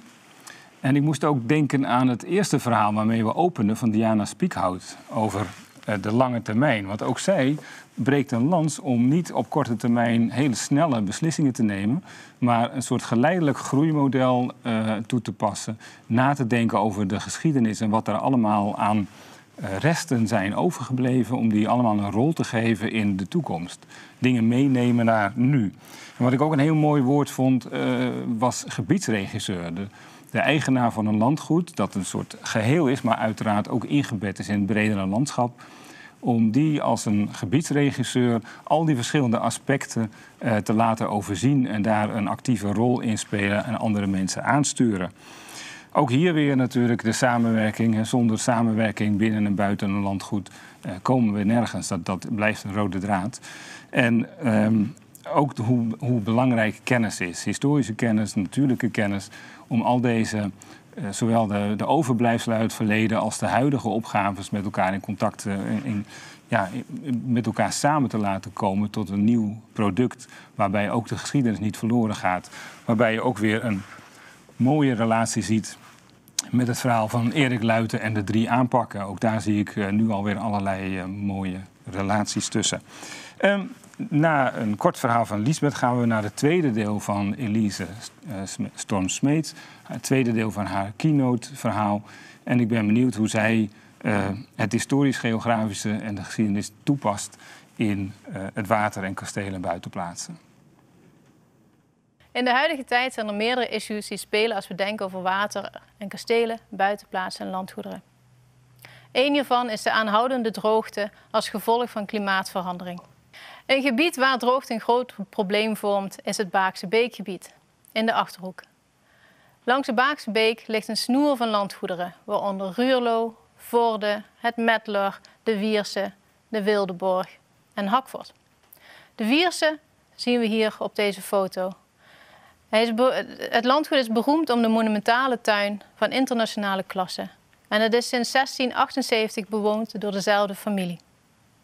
Op deze foto zien we een stuw in de Baakse Beek. Het is op landgoed de Wierse in 2018. Dezelfde plek twee jaar later. Drie warme en droge zomers op rij zijn funest gebleken voor het landgoed. De familie uitte haar zorgen bij overheden, erfgoedinstellingen en de media. Ze kregen ook heel veel media-aandacht. Uiteindelijk leidde dit onder meer tot een inventariserend onderzoek naar de gevolgen van droogte op groene rijksmonumenten. Met aanbevelingen voor eigenaren, zoals het herstellen van oude waterlopen, op en om landgoederen. En met een duidelijke belangrijke rol voor provincies en waterschappen. De Wierse is niet het enige landgoed waar droogte een probleem speelt. In heel Nederland zien we schade aan rood en groen erfgoed door de aanhoudende droogte. Er wordt gewezen op te weinig regenval, maar ook waterwinning. Door aanhoudende droogte daalt de grondwaterstand, waardoor onder meer funderingen van gebouwen aangetast worden. Parkbomen afsterven, historische waterstructuren vervallen en agrarische gronden verschralen. Tegelijkertijd kunnen extreme buien leiden tot erosie en wateroverlast. Eigenaren en waterschappen moeten gebiedsgericht samenwerken om tot oplossingen te komen. Daarbij is het interessant om te kijken naar historische waterstructuren in het landgoederlandschap. Mogelijk dat die een rol kunnen spelen bij wateropvang, zoals rabattenbossen, vloeiweiden en sprengenbeken. Dit jaar zijn de provincies Gelderland, Utrecht en Zuid-Holland samen met SKBL begonnen met een onderzoeksproject naar landgoederen en klimaatadaptatie. Het zou mooi zijn als er ook een overzicht komt van good practices, methoden en instrumenten uit het hele land, van kleine oplossingen tot regionale co-creatie. Terug naar de achterhoek. In mijn vorige lezing vertelde ik over de geschiedenis van water en watererfgoed op landgoederen. We zagen bij het Valkenburgse Guldal hoe water een verbinding creëerde tussen gebieden, tijdslagen en functies. Hetzelfde zien we ook bij het Baakse Beekgebied in de Achterhoek. Die verbinding maakt het soms ook ingewikkeld. Als je weet dat de beek door meerdere landgoederen stroomt, door meerdere gemeenten, hoe pak je dan actuele opgaven aan die op lokaal en regionaal niveau spelen? En alvast vooruitlopend op de omgevingswet, hoe bepaal je de omgeving van het monument als een deel van die omgeving een stromende beek is? Al jaren wordt in het gebied van de Baakse Beek samenwerking gezocht tussen landgoedeigenaren, Waterschap Rijn en IJssel, overheden en erfgoedinstellingen. Het Baakse Beekgebied is ook een van de learning cases in het internationale landgoederenproject InnoCastle. Provincie Gelderland is een Nederlandse partner en ik mag hen adviseren in het project. Samen met onze internationale partners uit België, Roemenië, het Verenigd Koninkrijk en Spanje bezochten we het gebied. We gingen ook met internationale studenten van TU Delft het gebied in. We spraken met eigenaar, gemeente en het waterschap. Als uitgangspunt voor InnoCastle hanteren we een gebiedsgerichte benadering. Dat betekent dat we een landgoed beschouwen als een erfgoedensemble. Dat onderdeel is van een groter cultuurlandschap binnen een wijdere regio, provincie, etc. Belangrijk daarbij is te kijken op verschillende schaalniveaus, van lokaal tot regionaal. Naar kwaliteiten, karaktereigenschappen, knelpunten, kansen, wensen, stakeholders. Stefan Nijhuis van TU Delft en ik hebben dit in een schema vertaald. Dat we gebruiken bij zowel historisch onderzoek als Antwerpen voor hedendaagse ontwikkelingen. TU Delft studenten en docenten maakten analyses en ontwerptekeningen met kansrijke oplossingen voor afzonderlijke landgoederen en het gebied als geheel. En al deze ontwerpen bieden inspiratie en nieuwe ideeën. Belangrijk daarbij is voor te bouwen op bestaande studies van de afgelopen 15 jaar. Er is namelijk al behoorlijk veel gepubliceerd, gekarteerd en gesproken over het Baakse beekgebied. Laten we die kennis bewaren en laten we daarop voortbouwen. Ook is het raadzaam om zeg maar, te gluren bij de buren. Te leren van andere gebieden die kampen met dezelfde problemen en misschien al oplossingen hebben gevonden. Zoals het rapport over de effecten van klimaatverandering op Brabantse landgoederen. Ook interessant zijn de ervaringen met vloeiweiden op landgoed Lankeet in Haaksbergen en de pelterheggen bij Bergijk.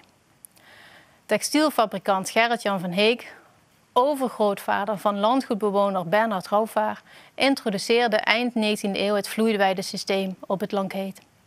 Hij hield zich intensief bezig met landbouwinnovaties en het paste deze ook toe op zijn eigen landgoederen, waaronder dus het Lankeet. Omdat op dat moment kunstmest duur was en tegelijkertijd arbeid heel goedkoop was, bleek dat het van oorsprong middeleeuwse vloeiweidesysteem opeens rendabel was. De vloeiweiden in het natuurgebied de, de plateau of pelterheggen in Bergijk bestaan uit een ingenieus systeem van sloten, stuwen en kleine geulen. Soefjes genaamd. Ze vormen een fijnmazig wasbord waarmee de 12 hectare grasland van kalkrijk water voorzien worden. In 1851 werd begonnen met de aanleg ervan. Doel was om de schrale Brabantse zandgronden vruchtbaarder te maken. Ondertussen is de traditionele bevloeiing van de weilanden in de ere hersteld op zowel het Lankheet als de Pelterheggen. En samen zijn ze in 2020 aangewezen als immaterieel erfgoed. Onze kennis over deze landschappen gaat dus niet alleen om het fysieke landschap, maar ook om de ambachten en tradities die hieraan verbonden waren en zijn. Lessen uit bijvoorbeeld Overijssel en Brabant kunnen toegepast worden in Gelderland, zoals bij landgoed Metler, waar de oude vloeiweiden nog duidelijk herkenbaar zijn in het landschap. Is dit misschien een kans om water langer in het gebied vast te houden? Tot slot wil ik nog kort stilstaan bij huidige waterbelangen, zoals waterveiligheid en ruimte voor de rivier. Hoe kun je deze waterbelangen vervlechten met erfgoedwaarde, met onze historische leefomgeving? En hoe kunnen waterschappen, erfgoedinstellingen, eigenaren, dorpsbewoners en gemeenten hierin samenwerken? Op dit moment adviseer ik bij een project van Waterschap Limburg in verband met de waterveiligheid bij dorp en kasteel Wel. Uit deze foto van de Maasoverstroming in 1995 blijkt het gevaar van hoge waterstanden en overstromingen. In Wel zijn de dijken niet sterk en hoog genoeg om het gebied ook in de toekomst te beschermen tegen hoogwater. Daarom moeten de dijken versterkt worden. Hoe doe je dat in een gebied met zoveel erfgoedwaarde? Onlangs verscheen een interview met de betrokken adviseurs bij de plannen in Wel. Een archeoloog, een erfgoedadviseur, een omgevingsmanager van het waterschap en een historisch geograaf. Dat ben ik. Ellen Verenighoor van Rijksdienst voor Cultureel Erfgoed zei in het interview... Als je vanaf het begin rekening houdt met het cultureel erfgoed in relatie tot bodem, ondergrond en water, dan kom je tot een beter passend ontwerp. Ook adviseerden we hier om te kijken op verschillende schaalniveaus. Naar dorp, kasteel en omliggend landschap. Te kijken naar de relatie van wel met de Maas door de tijd heen. Wellicht dat ervaringen uit het verleden ook hier inspiratie kunnen bieden. Het is nog een lopend project, work in progress. Cruciaal daarbij blijft dat de verschillende partijen met elkaar in gesprek blijven. Soms betekent dit ook elkaars taal beter begrijpen, openstaan voor nieuwe ideeën en inzichten. Voor ons als erfgoedzorgers betekent dat wij eerder aan tafel moeten komen als zulke grote ruimtelijke opgaven en ontwikkelingen in de planning staan. En zoals, het, zoals Erfgoeddeal dat noemt, deze ontwikkelingen erfgoed inclusief maken. Tegelijkertijd betekent dat wij als erfgoedzorgers transformatie inclusief moeten gaan nadenken. Erfgoed en cultuurlandschappen hebben zich door de tijd heen ontwikkeld, getransformeerd, waardoor een gelaagd landschap is ontstaan. Hoe kunnen we zorgen dat we nieuwe opgaven zoals wateropvang kunnen borgen in historische landschappen? Het is duidelijk dat water verbindt. We hebben al gezien, ruimtelijk, ensembles en gebieden. Historisch door de tijdlagen, maar ook functioneel, opgaves. En de mensen, verschillende mensen die op verschillende plekken in het gebied wonen en verschillende belangen hebben. Daarom wil ik graag afsluiten met een pleidooi voor een integraal gebiedsgericht onderzoek, onderwijs en ontwerp. En juist door integraal te werken en te kijken naar de longue durée van landschapsontwikkeling vanuit het verleden naar de toekomst, kunnen er goed onderbouwde keuzes gemaakt worden. Daarbij graag aandacht voor materieel en immaterieel erfgoed. Ons erfgoed, ons landschap is namelijk veel meer dan een fysiek gegeven. Het gaat ook om tradities, ambachten en maatschappelijke betekenissen. Daarmee kom ik uit op participatie.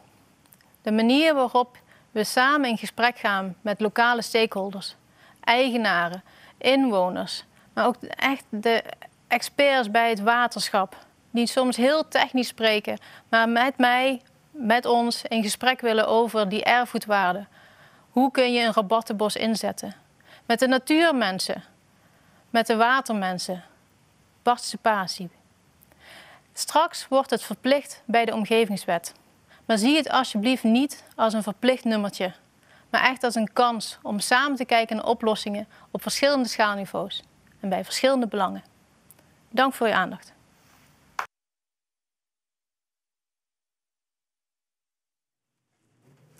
Dat was het tweede deel van de keynote-lezing door Elise. En haar pleidooi is ons uit het hart gegrepen.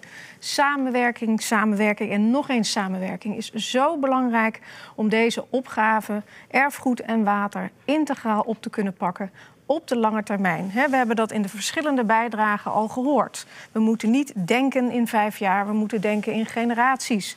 Het gaat echt om het toekomstbestendig maken van ons erfgoed. Um, het samenwerken is belangrijk, maar is zelfs noodzakelijk, denk ik, als we deze opgave willen gaan aanpakken. Um, het is ook gewoon heel nuttig, want van uw probleem heeft iemand anders al lang s'nachts wakker gelegen. Dat geldt niet alleen voor de eigenaren van buitenplaatsen, maar ook voor waterschappen. Kijk over de eigen muren heen. Ga gluren inderdaad bij de buren, zoals Elise dat zo mooi zei om te kijken hoe worden deze opgaven aangepakt, hoe succesvol is dat en bouw op die kennis voort. Van de erfgoedzorgers gaan we nu naar de waterwereld. We gaan kijken naar, ons laatste, naar de laatste bijdrage. En die wordt geleverd door Gerard van den Top. Hij is dijkgraaf van het waterschap Amstel, Gooi en Vecht. En hij neemt ons mee naar het Muiderslot.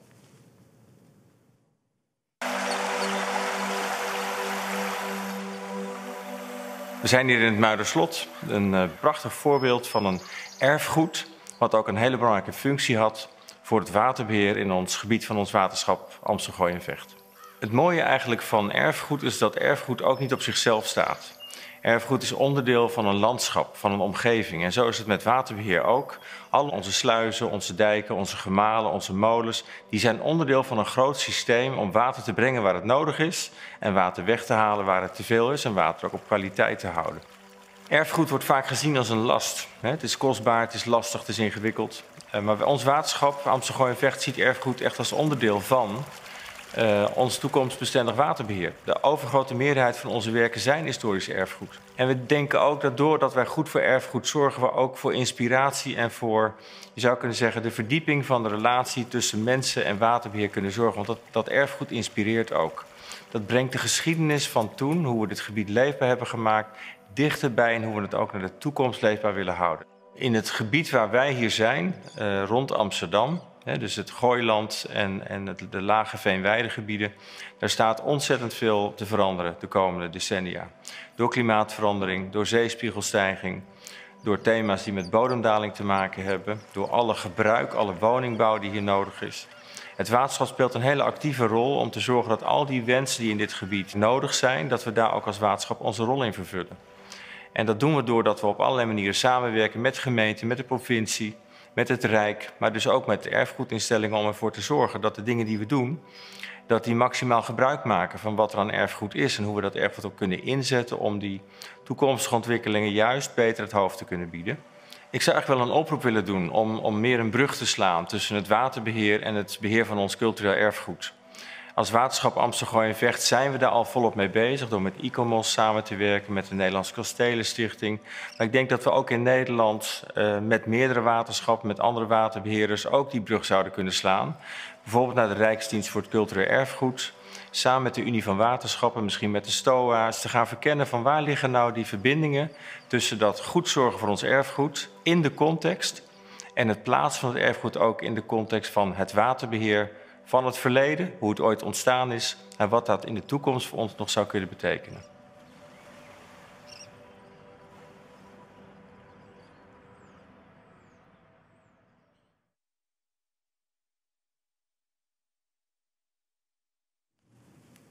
Dit was de laatste bijdrage. Dat uh, betekent dat nu de discussie is geopend. Um, waterschap. Waterschap kwam in bijna alle bijdragen wel voor. En ik zie dat in onze chat, waar allerlei vragen gesteld worden door u, ook een aantal vragen over het waterschap uh, worden gesteld. Um, ik wil zo meteen eerst even um, uh, de, onze twee panelleden die u nog niet in beeld heeft gehad, kans geven om iets over zichzelf te vertellen en te reageren op de filmpjes van deze middag. Maar daarvoor zal ik die twee vragen even voorlezen. En dat doen wij ook omdat uh, wat wij vandaag hier met elkaar delen wordt opgenomen en is straks op YouTube nog te bekijken. Ook voor mensen die vandaag niet aanwezig konden zijn. Maar wat in de chat staat, komt daar niet in voor. Dus wij, uh, Charlotte en ik, zullen dat dus voorlezen, zodat ook die mensen later snappen waar onze discussie precies over gaat. En de eerste vraag is voor ons ook weer een vraag aan de vraagsteller. Want uh, hij vraagt hoe wordt een provinciaal waterplan opgesteld? En het gaat dan over het geval dat een bepaalde kastelen niet langer meer uh, onder de zorgplicht van een waterschap vallen. Uh, bedoelt de vraagsteller dat ze daarmee onder de provincie vallen of onder niemand?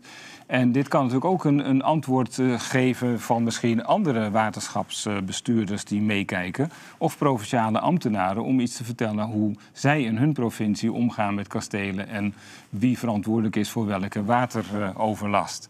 En de tweede vraag gaat over: zou het niet zo kunnen zijn dat het, uh, het, het, proactief reguleren, zoals wordt gezegd, van het grondwaterpeil voor kastelen en landgoederen een soort automatische uh, taak is van het waterschap? Dat dat gewoon een verplicht onderdeel is, zodat er zeker rekening mee wordt gehouden. Nou, als u in de tussentijd uh, daar uw antwoorden op formuleert in de chat, dan gaan wij daar straks op in. Dan geef ik nu eerst het woord aan Natasja Lensveld van de Rijksdienst Cultureel Erfgoed. Die werd in de bijdrage van de Watergraaf al genoemd. Uh, met een soort uitnodiging om samen te werken. En ik zou aan Natasja willen vragen: hoe zou jij, als je dit allemaal gezien hebt, wat, wat zou je willen reageren? Wat wil je ons nog meer meegeven dan wat wij nu al gehoord hebben? Nou, allereerst bedankt voor de uitnodiging, want het is. Uh een feest van herkenning om al deze projecten langs te zien komen. Veel had ik al wel eens uh, iets gehoord. Sommige ben ik bij betrokken. En um, de Rijksdienst voor het Cultureel Erfgoed is heel actief geworden op het gebied van water. Want um, dat is keihard nodig. Het is uh, van boven en onder de grond is het op allerlei manieren van belang. Te veel water schaadt de kunstcollecties. Te weinig water schaadt de archeologie. En uh, zo zijn er tal van relaties te bedenken die breed onze organisatie raken. Zelf ben ik gespecialiseerd in groen erfgoed. En ook daar geldt natuurlijk, ja, te veel water is niet goed en te weinig water is niet goed. Dus um, het zijn uh, geen makkelijke onderwerpen, omdat je inderdaad verschrikkelijk veel partners nodig hebt. En daarom is het goed dat dit, deze bijeenkomst die hele brede betrokkenheid van iedereen laat zien. En uh, dat hebben we echt nodig, deze kennisuitwisseling. Um, de Rijksdienst voor het Cultureel Erfgoed is eigenlijk op verschillende niveaus wel betrokken bij die wateropgave. Van uh, nationaal niveau door te praten met de Delta-commissaris en de Unie van Waterschappen en projecten te doen met de STOA. Op regionaal niveau hebben we al gezien bijvoorbeeld die landschapsbiografieën die we stimuleren en uitbrengen. Um, de overzichtspublicaties van dijken en polders. Uh, dat zijn uh, allemaal van die beginstapjes om uh, beeld te krijgen op de problematiek en op de waarde van het erfgoed. En op, op lokaal niveau is het zeker zo belangrijk van het stuwtje um, op Beukenhorst. tot dijkverzwaringen langs de Waal en andere plekken. Ja, van groot tot klein zijn dat erfgoedopgaven. En vaak helpt het om de geschiedenis te kennen en kom je tot leukere, betere, mooiere oplossingen als je met een paar partijen aan tafel zit en de geschiedenis van zo'n gebied kent met elkaar. Ja, ja. Uh, dan ga ik over naar Ben Ondermeierink, uh, bouwhistoricus. En al die, die nattigheid en drogigheid heeft natuurlijk ook uh, allerlei invloeden op de bebouwing. Niet alleen het groene erfgoed, maar ook het rode erfgoed, zoals dat heet. misschien kun jij, Ben, uit jouw praktijk iets vertellen over waar je er tegenaan gelopen bent, zo'n die problemen van het water. Dank u voor die vraag die u stelt. Ik, inderdaad, in mijn praktijk als bouwhistoricus en natuurhistoricus ben de NKS, maar ook bij ons uh, bouwhistorisch bureau uh, BBA, komen wij iedere keer de zaak tegen. Totale verdroging van gebieden. Afgelopen jaar, een onderzoek gedaan in het, in het Zeiste Het Zeiste lopen prachtige springen die bedoeld waren ooit, ooit om de vijvers rond uh, het slot Zeist te vullen. Erg uh, belangrijk. En, en vorig jaar, na het tweede jaar eigenlijk, zag je totale verdroging en alles kwam leeg te liggen. Zorgen die je hebt als waterschap, maar ook uh, andere partijen als de gemeente en het Utrechtse landschap natuurlijk als eigenaar. Wat doen we eraan? Om terug te keren, een andere vraag. Hoe was het met een, zo'n wat heeft het eh, invloed op de gebouwen? Het heeft gebouwen op, niet alleen op de gebouwen zelf, het, huis, zoals op, de, op kasteel Amerongen bijvoorbeeld, die problemen had toen in 1995 en 1993 de grote overstromingen waren van het riviergebied en de dijken moesten opengezet worden. Het hele gebied lag vol onder water. En de gevolgen na vier, vijf dagen, toen het water weer wegtrok, waren dramatisch. Dat waren de zaken van of te veel water. Maar je hebt natuurlijk ook zaken met te weinig water. In de geschiedenis van bijvoorbeeld kasteel uh, Brekkelenkamp in Overijssel komt dat regelmatig voor. Je ziet de foto's rond 1900 dat de muren zijn ingestort. Hoe komt dat? Je ziet op dezelfde foto's dat de, uh, dat de grachten leeg staan. En je ziet letterlijk dat de paalverdering die eronder stond en de balk die er op ligt, waarop de muren weer staan, weggerot waren. Het grote probleem die wij nu, nu ook kennen in steden als, uh, als Gouda binnenkort. Waar er heel veel problemen gaan krijgen als, de, als die water, water verder gaat zakken. En de paalkoppen worden aangetast door, door het gebrek aan water eigenlijk. De gevolgen zijn groot geweest uh, en die zijn eigenlijk in de jaren 70, 80 langzamerhand opgelost. Want het beelden, de fotomateriaal uit die tijd uh, is eigenlijk wel zeer uh, beeldend. Je hebt het dat, wat het dan, je hebt een beeld van allemaal wat zwaar aangetast en je denkt, nou, daar komen we niet uit. We zijn daar wel uitgekomen als we zien wat we nu hebben. Ik zag het uh, ook bij grote overstromingen die we kunnen hebben, want daar ben ik eigenlijk nog iets meer bang voor. Uh, die een ontzettend grote gevolgen hebben kunnen hebben. Ik heb in 1995 de bovenstroom gezien van de Seine ten, noorden van, ten oosten van Parijs. Waar op buitenplaatsen kilometers uh, kademuren waren verdwenen. Totaal ingezakt. De schades waren ongelooflijk. Die waren gewoon meegesleurd. Dus, en zij dezelfde tijd zie je nu, tientallen jaren later kom je op zo'n gebied, dan zie je de verdroging optreden. Het is een soort constant wisselend beeld wat je krijgt.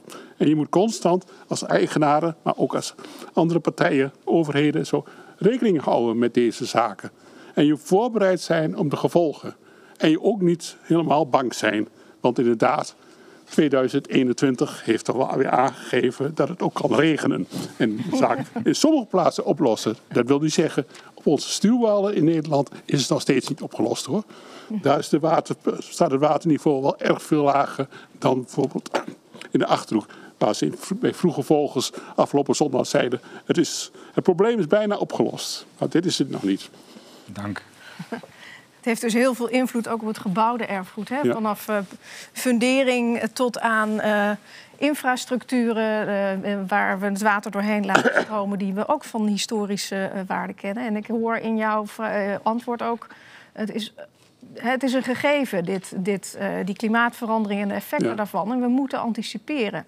Ehm, dan kijk ik even naar Erik, want jij hebt de drie benaderingen heb jij, eh, gepresenteerd.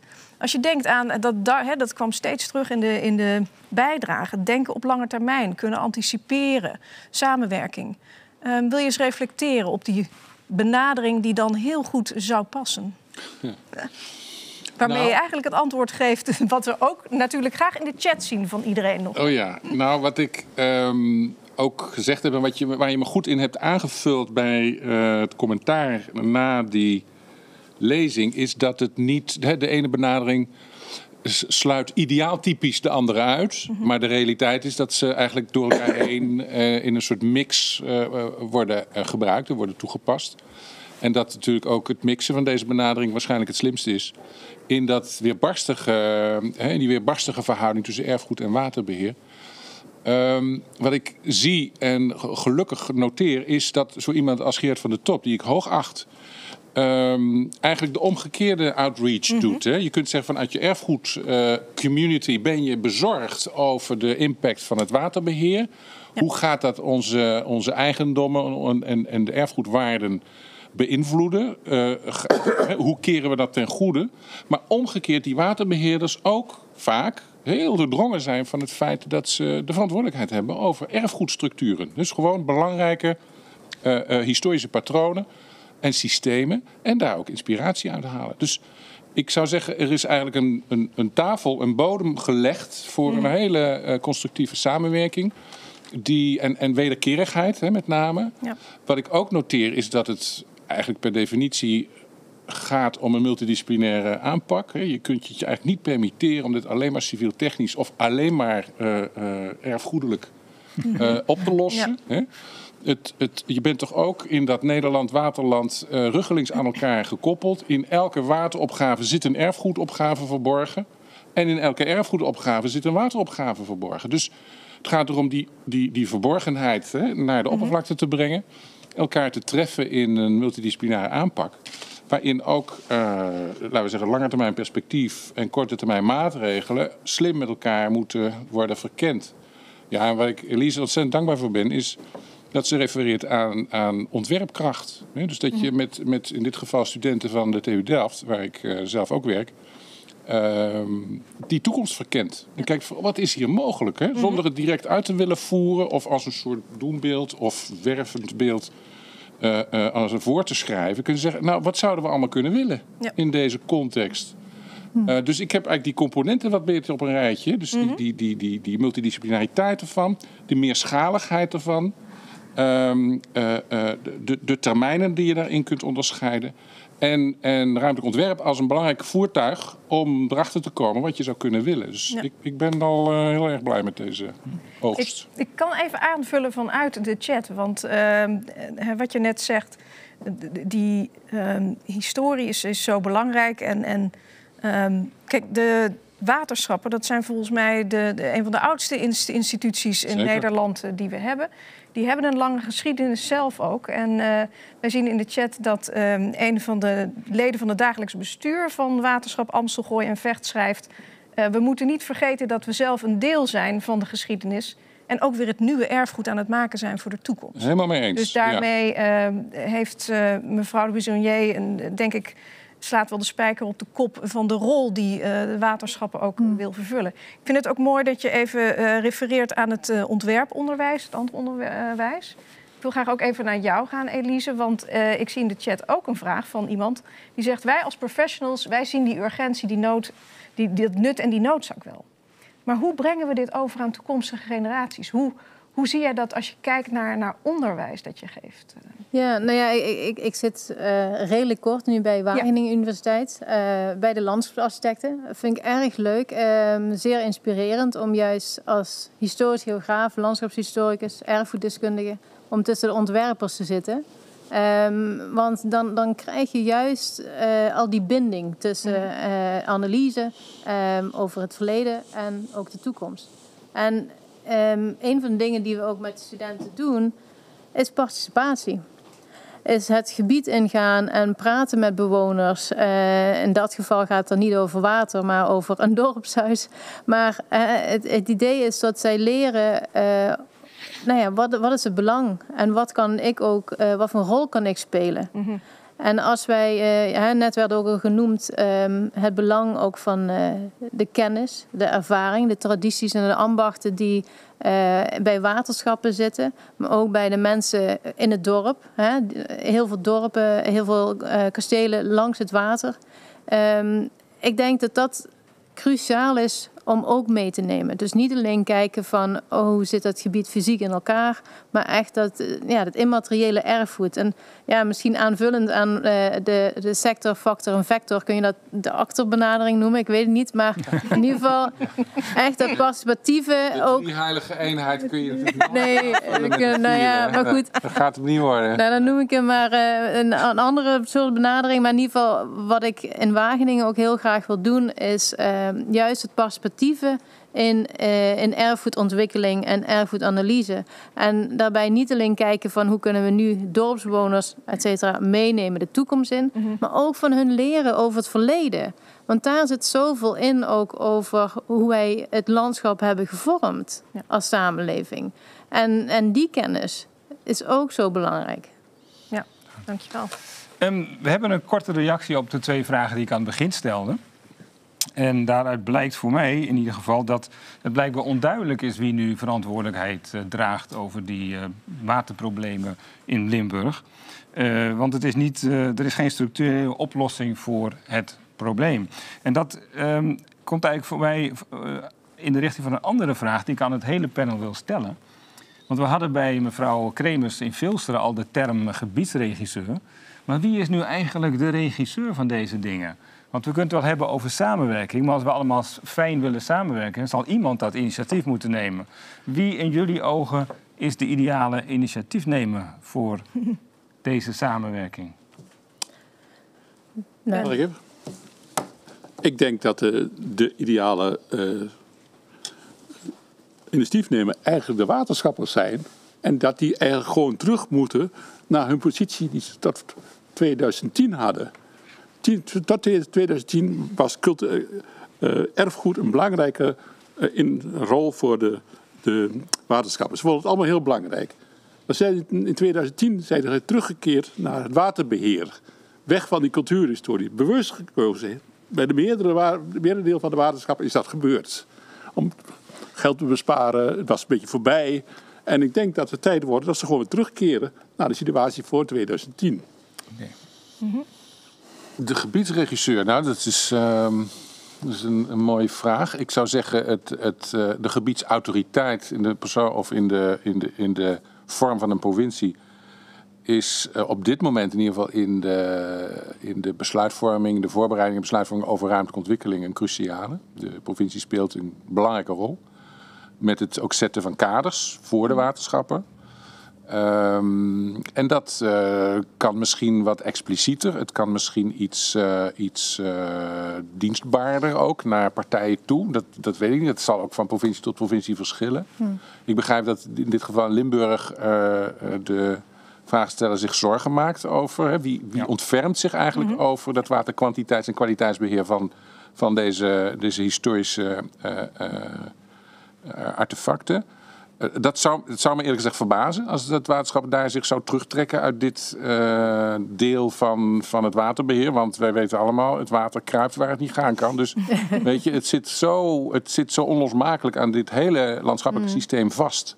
Je kunt niet zomaar even een, een erfgoedelijke situatie uitprepareren uit dat systeem. Dat zit er gewoon nee. in. En dat dus maakt het, het natuurlijk ook wel lastig hè? als je zegt wie moet de gebiedsregisseur zijn. Want er zijn um, knelpunten of juist oplossingen op verschillende schaalniveaus. Ja. En soms uh, is het vanzelfsprekend, natuurlijk moet de provincie het doen, want het gaat over een grote rivier die door meerdere gemeenten gaat, et cetera. Ja. En soms heb je juist één kleine stuw op een landgoed. Nou ja, dus, dus daar moet je ook samen achterkomen van wie moet op welke ja, moment eigenlijk de gebiedsrol of de regisseursrol op zich pakken. Ja. En soms kan dat de landgoedeigenaar zijn, maar die moet zich dan beseffen van ik heb het waterschap nodig, ik heb de provincie nodig, ik heb de gemeente nodig. Tegelijkertijd, als je een grote opgave hebt, eh, hè, een groot Mhm. gebied, dat de provincie of het waterschap dan ook denkt, ik moet de erfgoedeigenaar erbij gaan betrekken. En de ecologen en de natuurbeheerders. Het- En dat zijn er heel wat die allemaal meespelen. Maar ik hoop dat op verschillende schaalniveaus mensen die zich het nou, zoiets hebben van, nou, dit is mijn opgave, dit moet ik gaan oplossen, dat die meteen integraal gaan nadenken en ook eh, perspectief gaan nadenken. Ehm, dus je kunt niet zeggen, er is eentje die dit nu even voor iedereen, voor elke situatie moet gaan oplossen. Want zo werkt het niet. Dat ben, daar ben ik het ook mee eens. Wat volgens mij ook door eh, de, de eigenaresse van Vilsteren werd gezegd, is dat wat zij het landgoedmodel noemt, dat ik een Ja. heel interessant beeld vind, is eigenlijk, ehm, zou je kunnen, zou je kunnen eh, verplaatsen, ook, ook opschalen, als een model waarin je met elkaar probeert één resultaat te boeken. Dus het landgoed als een collectief resultaat van, van verschillende eh, inspanningen over de tijd, waarin verschillende waarden naast elkaar en in elkaar kunnen bestaan en voortbestaan. Dat is eigenlijk een heel interessant eh, beeld om te verplaatsen naar actuele ruimtelijke ontwikkeling. Hoe krijg je het bij elkaar? En dus misschien is het nog wel meer het landgoed als, eh, als model voor gebiedsontwikkeling dan dat er één persoon of één instantie daar in de maat zou moeten slaan of een soort eh, partituur zou moeten schrijven. Want dan wordt het. Dan wordt het, Nee, denk ik, maar je hebt wel wordt het een beetje een 19e trekker eeuws in nodig. plaats van 21e eeuws. Ja. Een trekker nodig. Natasja. Ja. Ja, het mooie van Vilsteren is dat het een groot landgoed is met heel veel boerderijen. Dus heel veel landbouw binnen het landgoed. En daardoor kunnen ze spelen met de biologische landbouw. Wat veel meer vocht vasthoudt. Hè. Hoe meer organische stof je in je bodem hebt, hoe meer vocht je eh, vast kan houden. En hoe robu- robuuster het landgoed wordt. Als je een kleine buitenplaats hebt en eh, de landbouw eromheen is in andere handen, dan zit je alweer met een heel ander Ja. probleem. Ja. Dus eh, je zit met verschillende opgaven in verschillende gebieden. In West-Nederland eh, heb je met eh, het zoutenwater te maken, wat eh binnen zijpelt. Op hoge zandgronden heb je vooral met die droogte te maken. Rond Den Bosch heb je vooral met wateroverlast te maken. Of in ieder geval de sterk wisselende waterschappen, dus eh, waterstanden. En ehm, dus iedere keer zijn ook de partners anders daarmee. Ja. En dan, dan denk ik, ja, ik ben, ben zelf altijd heel praktisch in dingen. Ik volg waar de energie gaat. Dus als er een club opstaat die eh, in staat is om te trekken, die graag integraal wil werken met anderen. En in staat is om die mensen bij elkaar te krijgen, meteen aanhaken en meedoen. En dan kom je samen vaak wel met eh, Ja. een goed projectvoorstel. Ja. Ben. Soms heb je te maken met, met nieuwe conflicten, omdat de, de partijen veranderen. Hè? De aardige voorbeeld vind ik altijd eh, recent is eh, kasteel Amerongen. Kasteel Amerongen behoorde bij een heel groot landgoed. Maar in, in de jaren 60 en 70 is het kasteel eruit gehaald en het landgoed eigenlijk deels verdeeld. Wel, de- wel naar natuurorganisaties. Het eh Utrecht Landschap, eh, nat, st- voor mij is het eh eh, Staatsbosbeheer en een deel bleef bij de familie. Nu zit je bijvoorbeeld het probleem. Vroeger zou je zou, ah, bij het tekort aan water op het kasteelplek, plek, wat nu speelt, of tenminste een, maand, een, paar, een paar weken geleden, toen wilde men graag water inlaten uit de bovenpolder. Die vroeger dus heel veel bezit was. Ja. Vroeger konden ze dat zelf doen. Nu zit dus het probleem dat die partijen, die natuurorganisaties, daar niet van gediend zijn. Want die willen dat daar houden zoals het is. Ja. En ook het waterschap zegt, nee, dat doen we niet. Maar intussen verdroogt natuurlijk het deel wat binnen de dijk ligt, het eigen dijkje ligt, eh, waar het kasteel ligt. En dat is heel jammer. Maar ineens zie je dus conflictuerende situaties. En daarom heeft men ooit eens een rentmeester van een kasteel eh, gezegd van... zorg dat je je landgoed bij je kasteel houdt. Dat is belangrijk, want dan kun je op een gegeven moment zaak zelf eh, de regie voeren... en van het ene geven en de andere nemen. Is, Begrenzingen, o- omvang zijn ook vaak gerelateerd aan landschappelijke logica. Ja, die, dat is die, ook, ja. die zijn nooit zomaar eh, een keertje getrokken. Dat heeft iets te maken met de systeemeigenschappen die je daar aantreft. En dat, ik snap je heel goed, deze redenering. Dat je op, op moet passen daarin te gaan herverkavelen en te gaan afsnijden. Want dan verlies je die systeem. Eh, eh, Ja, maar dat is echt een, eh, probleem wat je echt in de 20e eeuw ziet ontstaan. Ja. Hè? De versnippering van familiegoed Ja. En ehm, waardoor, ja, dan heb je nog dat mooie gebouw eh, en, en die Ja, kern. ja. Maar je mist je ensemble. En dan eh, als je grote opgaves krijgt, en dat kan om water gaan, maar het kan ook om herbestemming zijn of herbebossing, weet ik wat. Maar dan mis je opeens, oh ja, wacht even, eh, wij moeten nu niet met één partij, we moeten misschien met twintig partijen gaan praten. En dat maakt het nog ingewikkelder. Ja, ja. Het maakt het integraal werken nog ingewikkelder. Ik heb net wat jij, Natasja, zei over eh Vilsteren. Dat je zei van nou, ze hebben daar een eh, hele reeks boerderijen en eh, die spelen ook mee. We hebben een vraag in de chat ehm, waarin wordt gesteld... erfgoedprofessionals en waterschappers weten elkaar steeds beter te vinden. Maar hoe zit het met de agrarische sector? Ons landbouwsysteem is voor een groot deel verantwoordelijk voor de droogte. De vraag is, hoe kijken de verschillende panelleden tegen dit probleem aan? Natasja, kan je Ja, iets zeggen dat is- vanuit jouw praktijk over hoe eh, de agrarische sector ook hierbij komt kijken? Ja, dat is natuurlijk, het, is evident. Het is, het is niet te ontkennen dat de agrarische sector, als je ziet eh, in hectares oppervlakte hoeveel erfgoed is en hoeveel de landbouw is, ja, dan kunnen we niet anders zeggen dan dat de landbouw groter is en eh, eh, bepaalt. Eh, aan de andere kant eh, is er sprake van een publiek. Dus eh, Mhm. weinig boeren hebben heel veel hectare, maar er zijn wel heel veel inwoners van Nederland die interesse beginnen te krijgen in eh, de wateropgave. Al was het maar door de droogte van de afgelopen twee jaar. En ehm, dan kunnen die landgoederen wel een heel mooi communicatief voorbeeld geven en laten zien hoe een historisch watersysteem in elkaar zat. Eh, hoe prachtig die beken vroeger waren, die over die landgoederen gingen. En die dus eigenlijk ook nog door dat cultuurlandschap zouden kunnen lopen. Dus het, eh, ik ben het met eh, mevrouw Kremers eens van Vilsteren dat de landgoederen en het landgoedmodel wel een heel mooi voorbeeld kan zijn om te demonstreren hoe het, hoe het mooier en beter kan, ecologisch gezien. Maar uiteindelijk zitten erfgoedmensen meestal niet aan de waterknop. En eh, is er dus wel sprake van eh, hard werken aan bewustwording en eh, als erfgoed aan tafel zitten bij de verschillende eh, plekken waar eh, beslissingen worden genomen. Erik, hoe kijk Ja. jij daar tegenaan? Hoe kijk ik daar tegenaan? Ik kijk daar, ehm, eh, eh, on- eh, hoe zal ik het zeggen, Eh, eh, een beetje. ehm, eh, eh, ik ben op zoek naar openingen hier voor, deze, voor dit, dit lastige Mhm. vraagstuk. Eh, ik ben dus ongeduldig ook aan het worden. Mhm. En dat heeft te maken met het feit dat je eigenlijk er niet meer, eh, geen andere conclusie meer kunt trekken dan dat het de 20e eeuw, waarmee wij de Nederlandse landbouw tot een wereldmacht hebben weten te Mhm. ontwikkelen, een keerzijde heeft gehad. En Ja. dat die keerzijde nu ten volle wordt, eh, wordt ervaren. Dat heeft niet alleen met waterbeheer te maken, het heeft eigenlijk over een veel Mhm. groter scala van milieufactoren te maken. En dat we met z'n allen ook wel eh, die eh, opgave eigenlijk vol in het gezicht eh, willen aankijken. En dat we er tot op heden hebben vertrouwd op de, het zelfoplossend vermogen van de landbouwsector zelf. En dat we tot de conclusie moeten komen, dat is niet de enige knop waaraan we moeten draaien. Ja.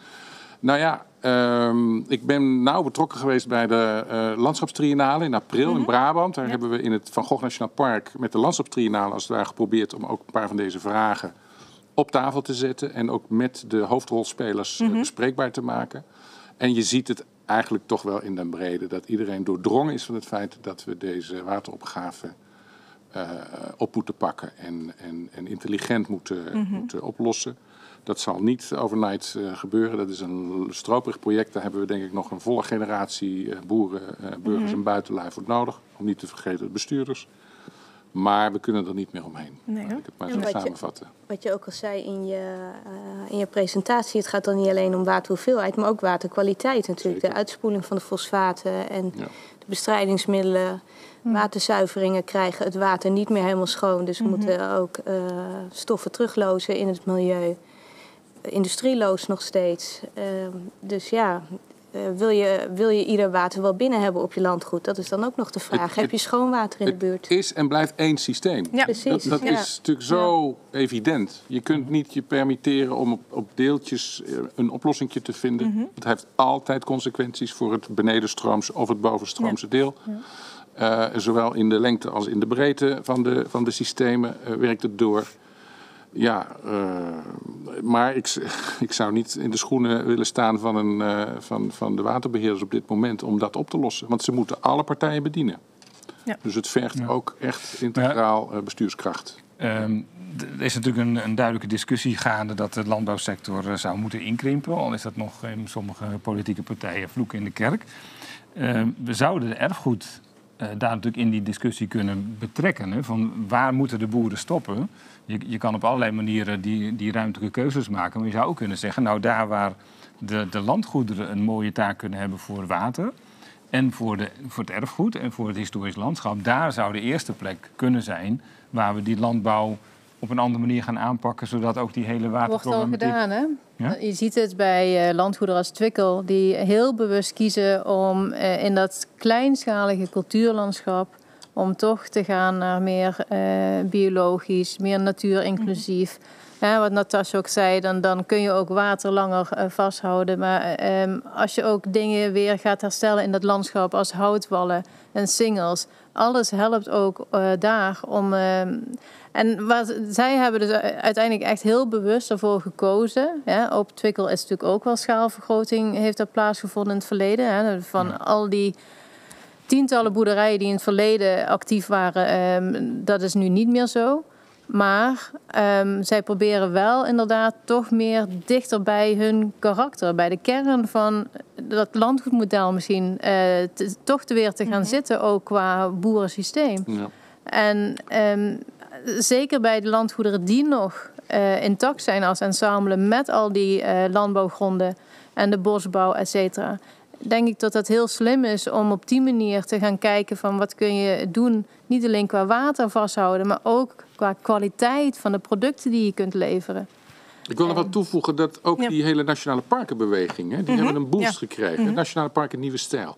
Ik geloof dat dat ook een, een kansrijke ontwikkeling is om beter op elkaar afgestemde uh, vormen van grondgebruik aan de kenmerken, de eigenschappen en beperkingen van het, van het watersysteem te verbinden. Misschien is dat ook wel de schaal waarop mm -hmm. je dat soort problemen moet, uh, moet mm -hmm. onderzoeken en moet uh, proberen de goede kant op te buigen. Ja. Dus die nationale parken worden misschien wel een prettig vehikel om die omslag mee regisseur. te gaan maken. Zeg je? Een mooie regisseur. Nou ja, Nationaal Parken is ook een samenwerkingsverband. Ja, hè? Dus ja. Uh, ja. wie daar de regisseur van moet zijn, dat is nog weer een goede vraag. Maar uh, het, het, is per definitie uh, afstemming op elkaar. Ja. kan een inspirerend model zijn. Natasja zei al iets over de kwaliteit van het water. We hebben al twee keer een vraag langs zien komen over de rol van de waterleidingbedrijven. waterwinning en de kwaliteit van water. Um, willen jullie daar nog op reageren of wil je nog iets meer daarover? Uh... Nou, ik weet toevallig van één onderzoek bij Middag in Reden. Daarvan werd uh, het bronbos verdroogde daar. Mm -hmm. En daar werd al meteen met de vinger gewezen naar de waterwinning. Uh, ik geloof of Vitens of ik weet niet hoe het bedrijf mm. heet wat daar zit. Uh, want die zou de oorzaak zijn. En daar is ook een, uh, dat moeilijke woord, die landschapsecologische analyse gedaan. Systeemanalyse. systeemanalyse, ik miste er nog één. Landschapsecologische systeemanalyse. En daar bleek dat uh, dat maar een hele kleine factor was. En dat het mm -hmm. toch ook de landbouw grenzend aan het landgoed was. die voor de ontwatering zorgde. En een aantal bouwactiviteiten, waaronder de, de weg uh, zo zijn invloed had. Dus um, er is wel echt onderzoek nodig om dat daadwerkelijk vast te stellen wat de oorzaken zijn. Uh, waterkruip waar het, niet gaan, ja. waar het niet gaan kan, werd net al gezegd.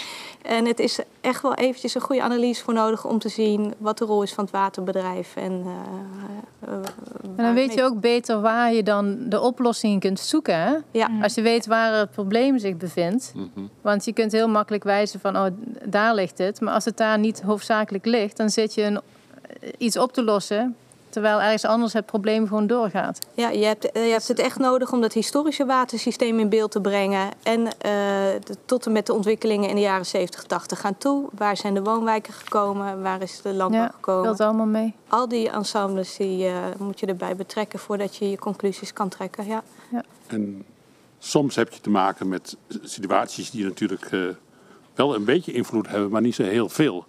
Als we de, de waterwinning voor Amsterdam zien, dat wordt gedaan in de Betunepolder in de buurt van Loenen. En dat is ongelooflijk. Die, die polder eh, was be- bedoeld om landbouwgrond, maar die was niet droog te pompen. Omdat het water van de Utrechtse heuvelrug gewoon afvloeide. En als, die niet, als de pompen zo, zo stopgezogen zijn worden gezet, dan zou de polder gewoon volstromen. Ja, maar dat geldt voor alle droogmakerijen. Hè? Ja, maar hij heeft niet gefunctioneerd als droogmakerij. Maar Als net als het naar de meer is nooit gelukt. Zeg maar. Nee, het water, daarom heeft Amsterdam, krijgt daar water, Amsterdam dat water natuurlijk daar vandaan. Dat is, goed. Ja. Maar ik wilde even aangeven dat in Nederland juist de lagere delen, dus aan de voet van die heuvelruggen liggen, die zijn echt de meest ideale situaties. De kastelen die daar liggen met hun waterprobleem, dat zal- is ook, zal nu het snelste herstel zijn. Want daar vloeit het water gewoon letterlijk af van de heuvelrug naar beneden. Ja. En dat is een doorgaand proces. Daar liggen van oudsher ook de papierfabrieken. Ja, en ik eh, kan, u, eh, kan u ook me- melden, in mijn eigen kelder loopt het water ook nog steeds. Dan moet ik ook nog steeds wegpompen. Ja, dat is nou weer. Misschien dat Amsterdam daar nog wat eh, drinkwater Ik moet zeggen, het Utrecht Landschap meldde zich of ze mijn water niet konden krijgen. Wat het- ook, De eh, kelder leeg drinken heet dat. eh, Ja. Wat, wat ook interessant is, en daar hebben we het niet over gehad, maar ik weet, we gaan er over tijd heen, maar het is toch ook ehm, ja, de artefacten in het watersysteem op landgoederen. Ja. Hè, de, eh, stuwen, fonteinen. ehm, en ook, we hebben het heel veel over droogte. Ja. Maar je hebt ook met wateroverlast te maken. En wij hadden een paar jaar geleden ehm, in, eh, in Arnhem, in Sonsbeek, Siependaal... Ja, je zit in een reliefrijk gebied. Ehm, maar grote delen van die landgoederen zijn eh, bebouwd. Zijn nu sinds de 19e eeuw woonwijken. Dus als het hard, hard regent, en dat Ja. hebben we wel eens... dan komt het als een soort waterval daar die straten af. Ja. Met heel veel erosie als gevolg. Nou, vraag was vanuit de gemeente... kunnen we dat oplossen? Nou, de techneuten kwamen met een heel technisch, perfect plan. Super lelijk.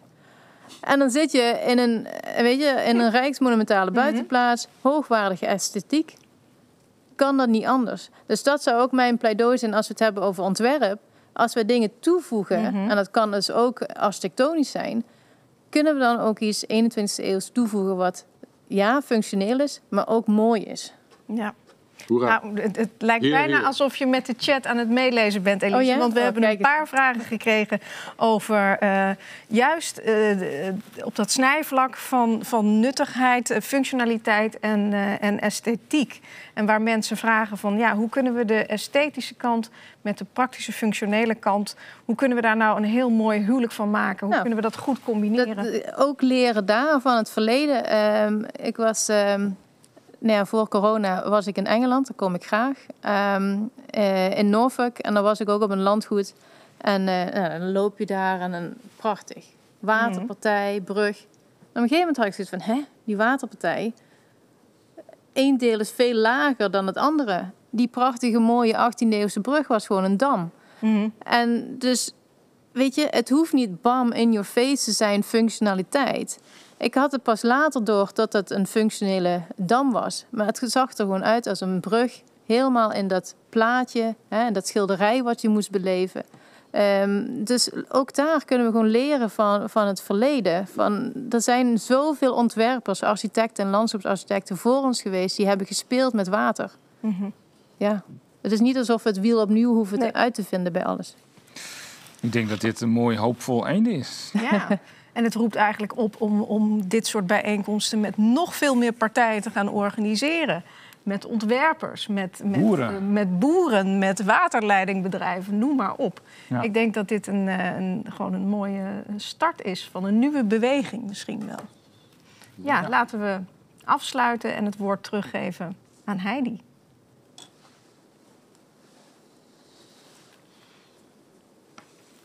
Ja, beste mensen, ehm, ik hoop dat jullie net zo hebben genoten als ik. Vooral ook van het gesprek wat we hebben kunnen voeren hier aan tafel. Dat hebben we eh, de laatste tijd best wel heel erg gemist bij webinars. En ehm, ik hoop dat dat een beetje tot uiting is gekomen. Allereerst eh, mijn dank aan eh, alle sprekers, deelnemers hieraan. Natasja Lensveld, Erik Luiten, Ben Oldemeijering en Elise Storm-Smeets. En natuurlijk aan de twee moderatoren... eh, Fred Vogelzang en eh, Charlotte van Emstede. Eh, we gaan afsluiten. We hebben straks onze breakout rooms geef ons daar even um, een break van een minuut of vijf, zeven voor. Zodat de mensen hier die hier zitten ook achter een laptop kunnen gaan zitten om ook deel te nemen aan, aan die chats. En dan kunt u allerlei vragen stellen aan hen en verder in gesprek gaan. Op een persoonlijke noot wil ik op deze manier eigenlijk iedereen afscheid nemen van iedereen ik, waarmee ik de afgelopen zes jaar uh, heb samengewerkt als directeur van de Nederlandse Kastelenstichting. Ik heb dat met ontzettend veel plezier gedaan en dat houdt 1 juli op. En ik ga andere dingen doen. Ik ga als producent werken voor de nieuwe stichting Dag van het Kasteel. En dan ga ik wat van dat werk wat ik bij de NKS ben begonnen verder doorzetten. En ik ga aan de slag als onafhankelijk erfgoedadviseur. Ik hoop en verwacht u allen ook uh, in de toekomst uh, opnieuw of weer te zien. Uh, dank u allen voor het aanwezig zijn en nog een fijne avond allemaal.